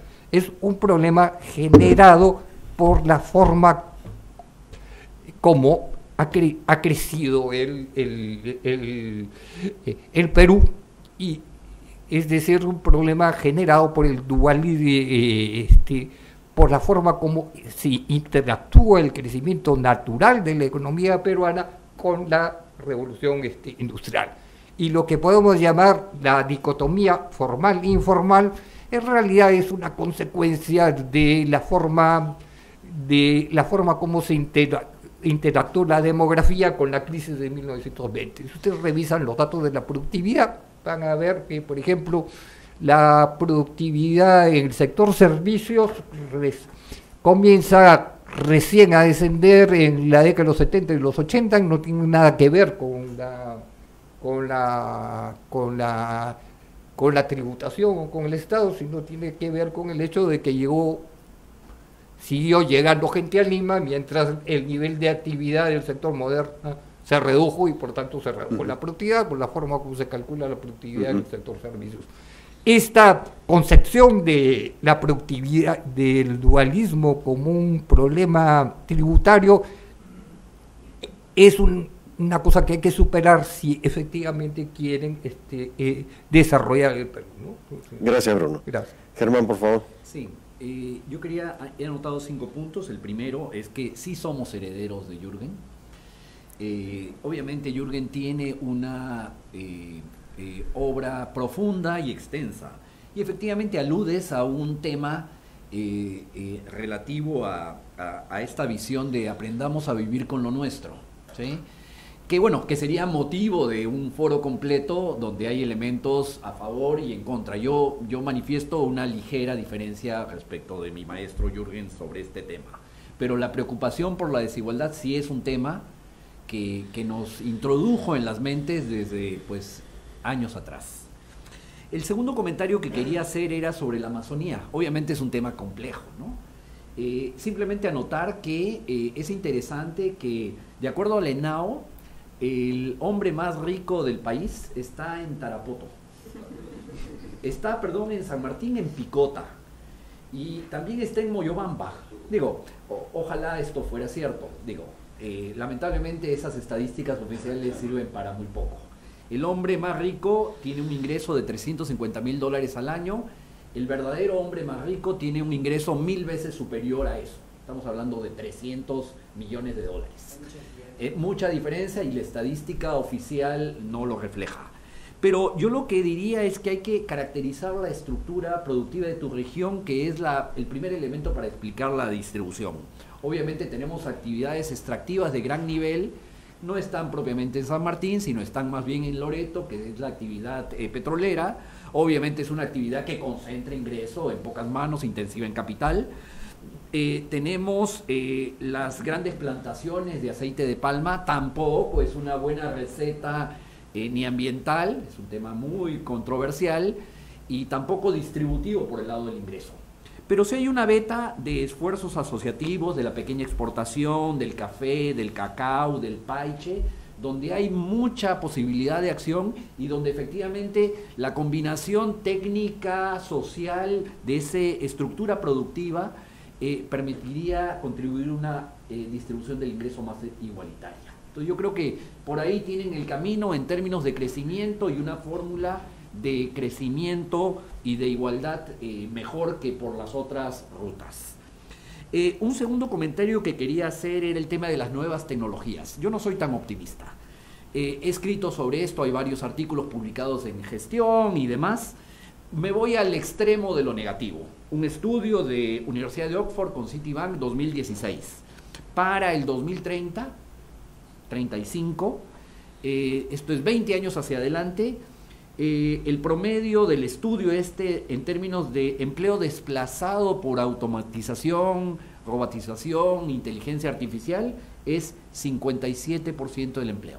Se van a crear nuevos empleos, sí, asociados a las nuevas tecnologías, pero el balance medido a la versión más negativa es que se va a perder el 50% del empleo. Y ese es el panorama hacia adelante. Y hay otros estudios que lo reducen a de 50 a 40, de hasta 15, pero el balance siempre es negativo. Y en ese sentido hay que tener esta visión de la economía por los tres lados. Las nuevas tecnologías nos crean nuevos productos muy hermosos, pero hay que ver qué pasa por el lado, ese es el lado de la oferta, qué pasa por el lado de la demanda y qué pasa con la estructura de distribución del ingreso, que es lo que hace que camine el crecimiento de la economía, las tres al mismo tiempo. Y por ahí la cosa no se ve también, lamentablemente.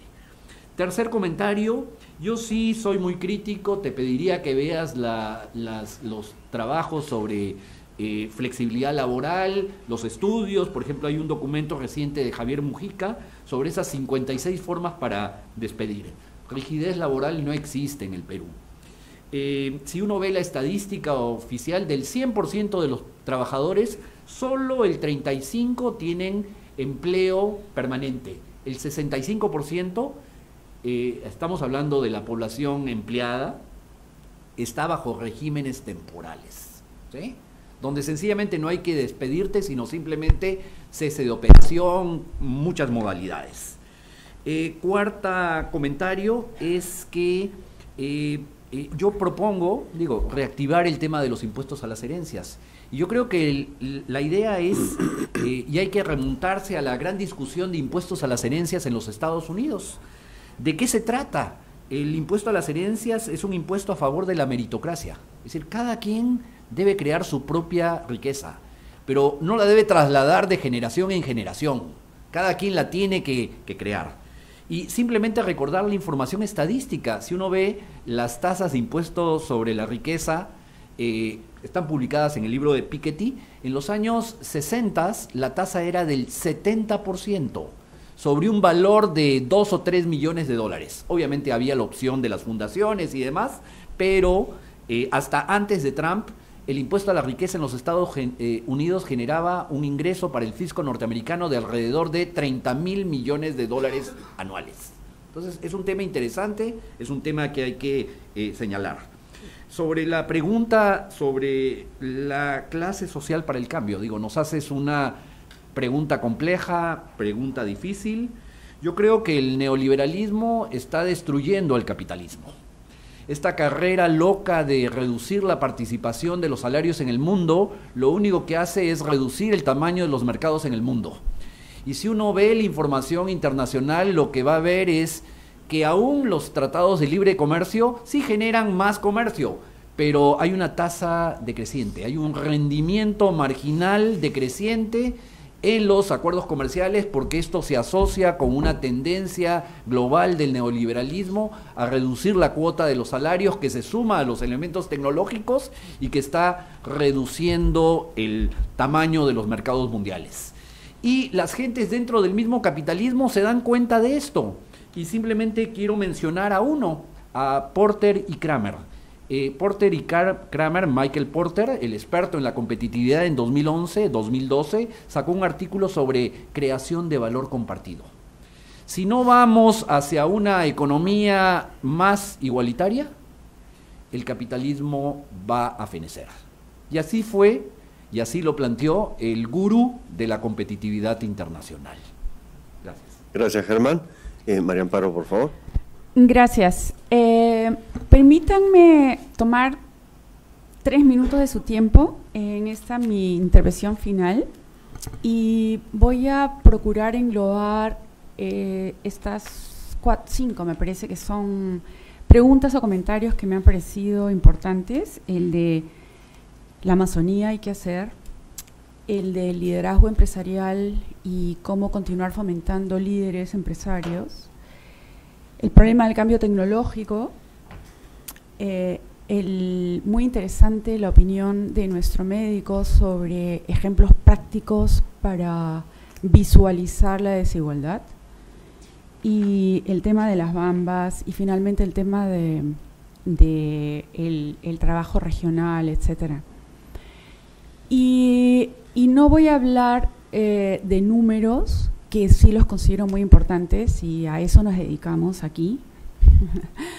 y, de, de, teorías, si no yo quisiera tener una aproximación un poco más conceptual a lo que es la problemática de la desigualdad.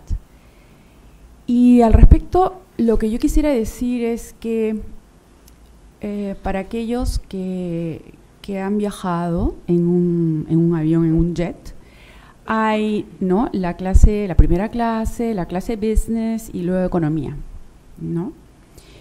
Y yo usualmente viajo en clase económica. Creo que no les voy a contar la historia de mi vida, pero eso es lo que yo uso. Y, y yo acepto que, que, hay primera y business, y yo sé que los reciben con un champán o con una mimosa que tiene un poquito de jugo de naranja. Y yo miro y digo qué rico y bueno, ya me voy a mi clase económica y este soy feliz cuando me dan una segunda copa de vino con la cena. Eh, he ahí un ejemplo de lo que clases económicas y desigualdad eh, existen y, que eso depende del ingreso que uno tiene para poder eh, financiar, sea primera clase, business o economía, ¿no? Eh, pero así no deben funcionar las sociedades. Sociedades donde, digamos, desde mi punto de vista, debería existir un, un aseguramiento, una garantía que para determinados servicios básicos, y estos son dos puntos, educación, salud y nutrición, debería haber un mínimo que debería ser garantizado y, con excelencia. Entonces, he aquí entonces eh, un problema que puede ser financiero o económico, porque es necesario tener los recursos a fin de poder asegurar que existe este piso de protección social, que no es una idea nueva tampoco. A mí eh, lo que yo rescato tanto de toda la familia de Naciones Unidas es que dan un marco normativo que es muy útil. Y, si bien son organizaciones que después se entrepelotean para implementar programas, el, discurso normativo que tienen eh, es de calidad porque mm, tienen la oportunidad de congregar a, mentes que de, todos los países del mundo que concurren para poder, em, digamos, unificar una visión. Y la OIT ya hace varios años ha eh, visto la necesidad de, tener esa perspectiva de protección social para una población.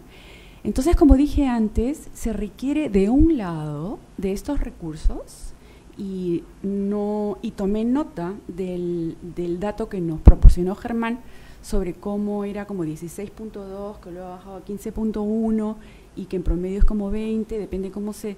Pero en otros países este, puede llegar la presión tributaria a ser del orden del 40%, 45%, ¿no?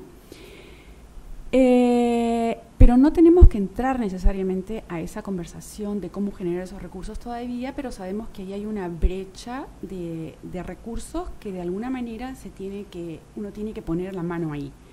Pero la otra que es tan importante y por eso es que tenemos dos manos, dos ojos y hay mucha simetría incluso como una persona humana. La otra parte es las, las ideas y la cultura, ¿no?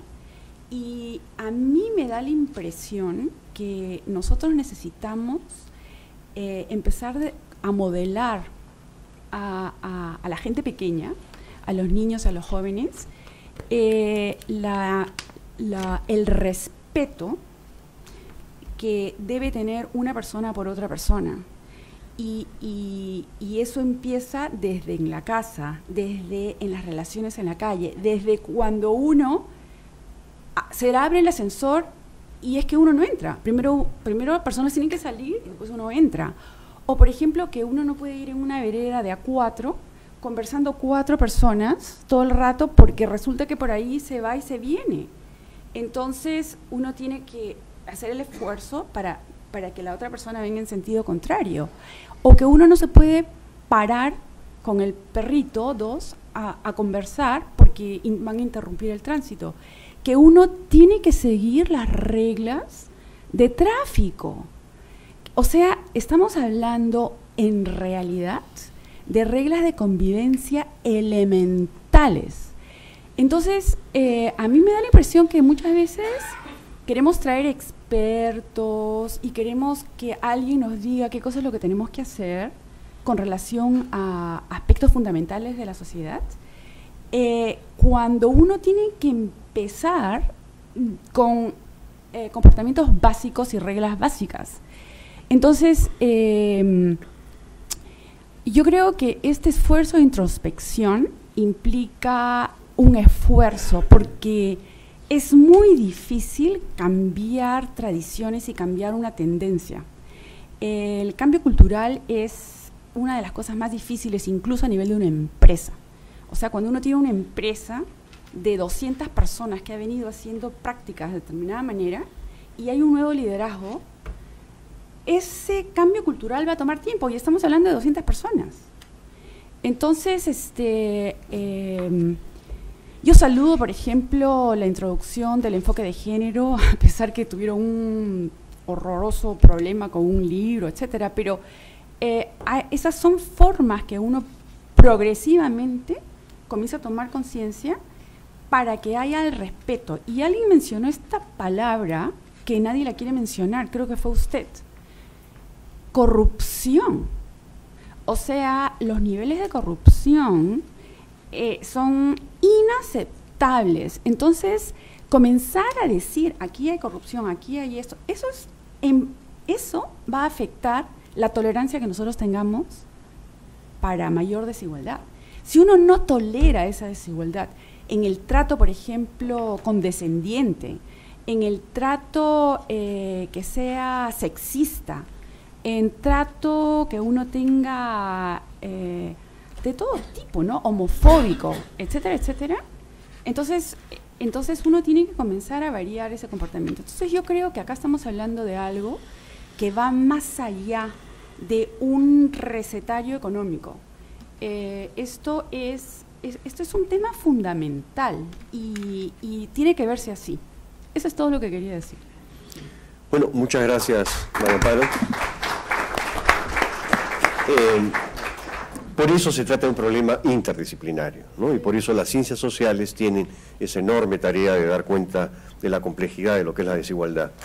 Eh, dicho sea de paso, ustedes habrán visto cómo osciló la pantalla por un momento.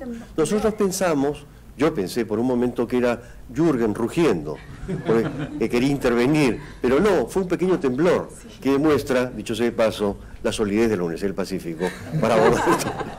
Muchas gracias a todos por su presencia.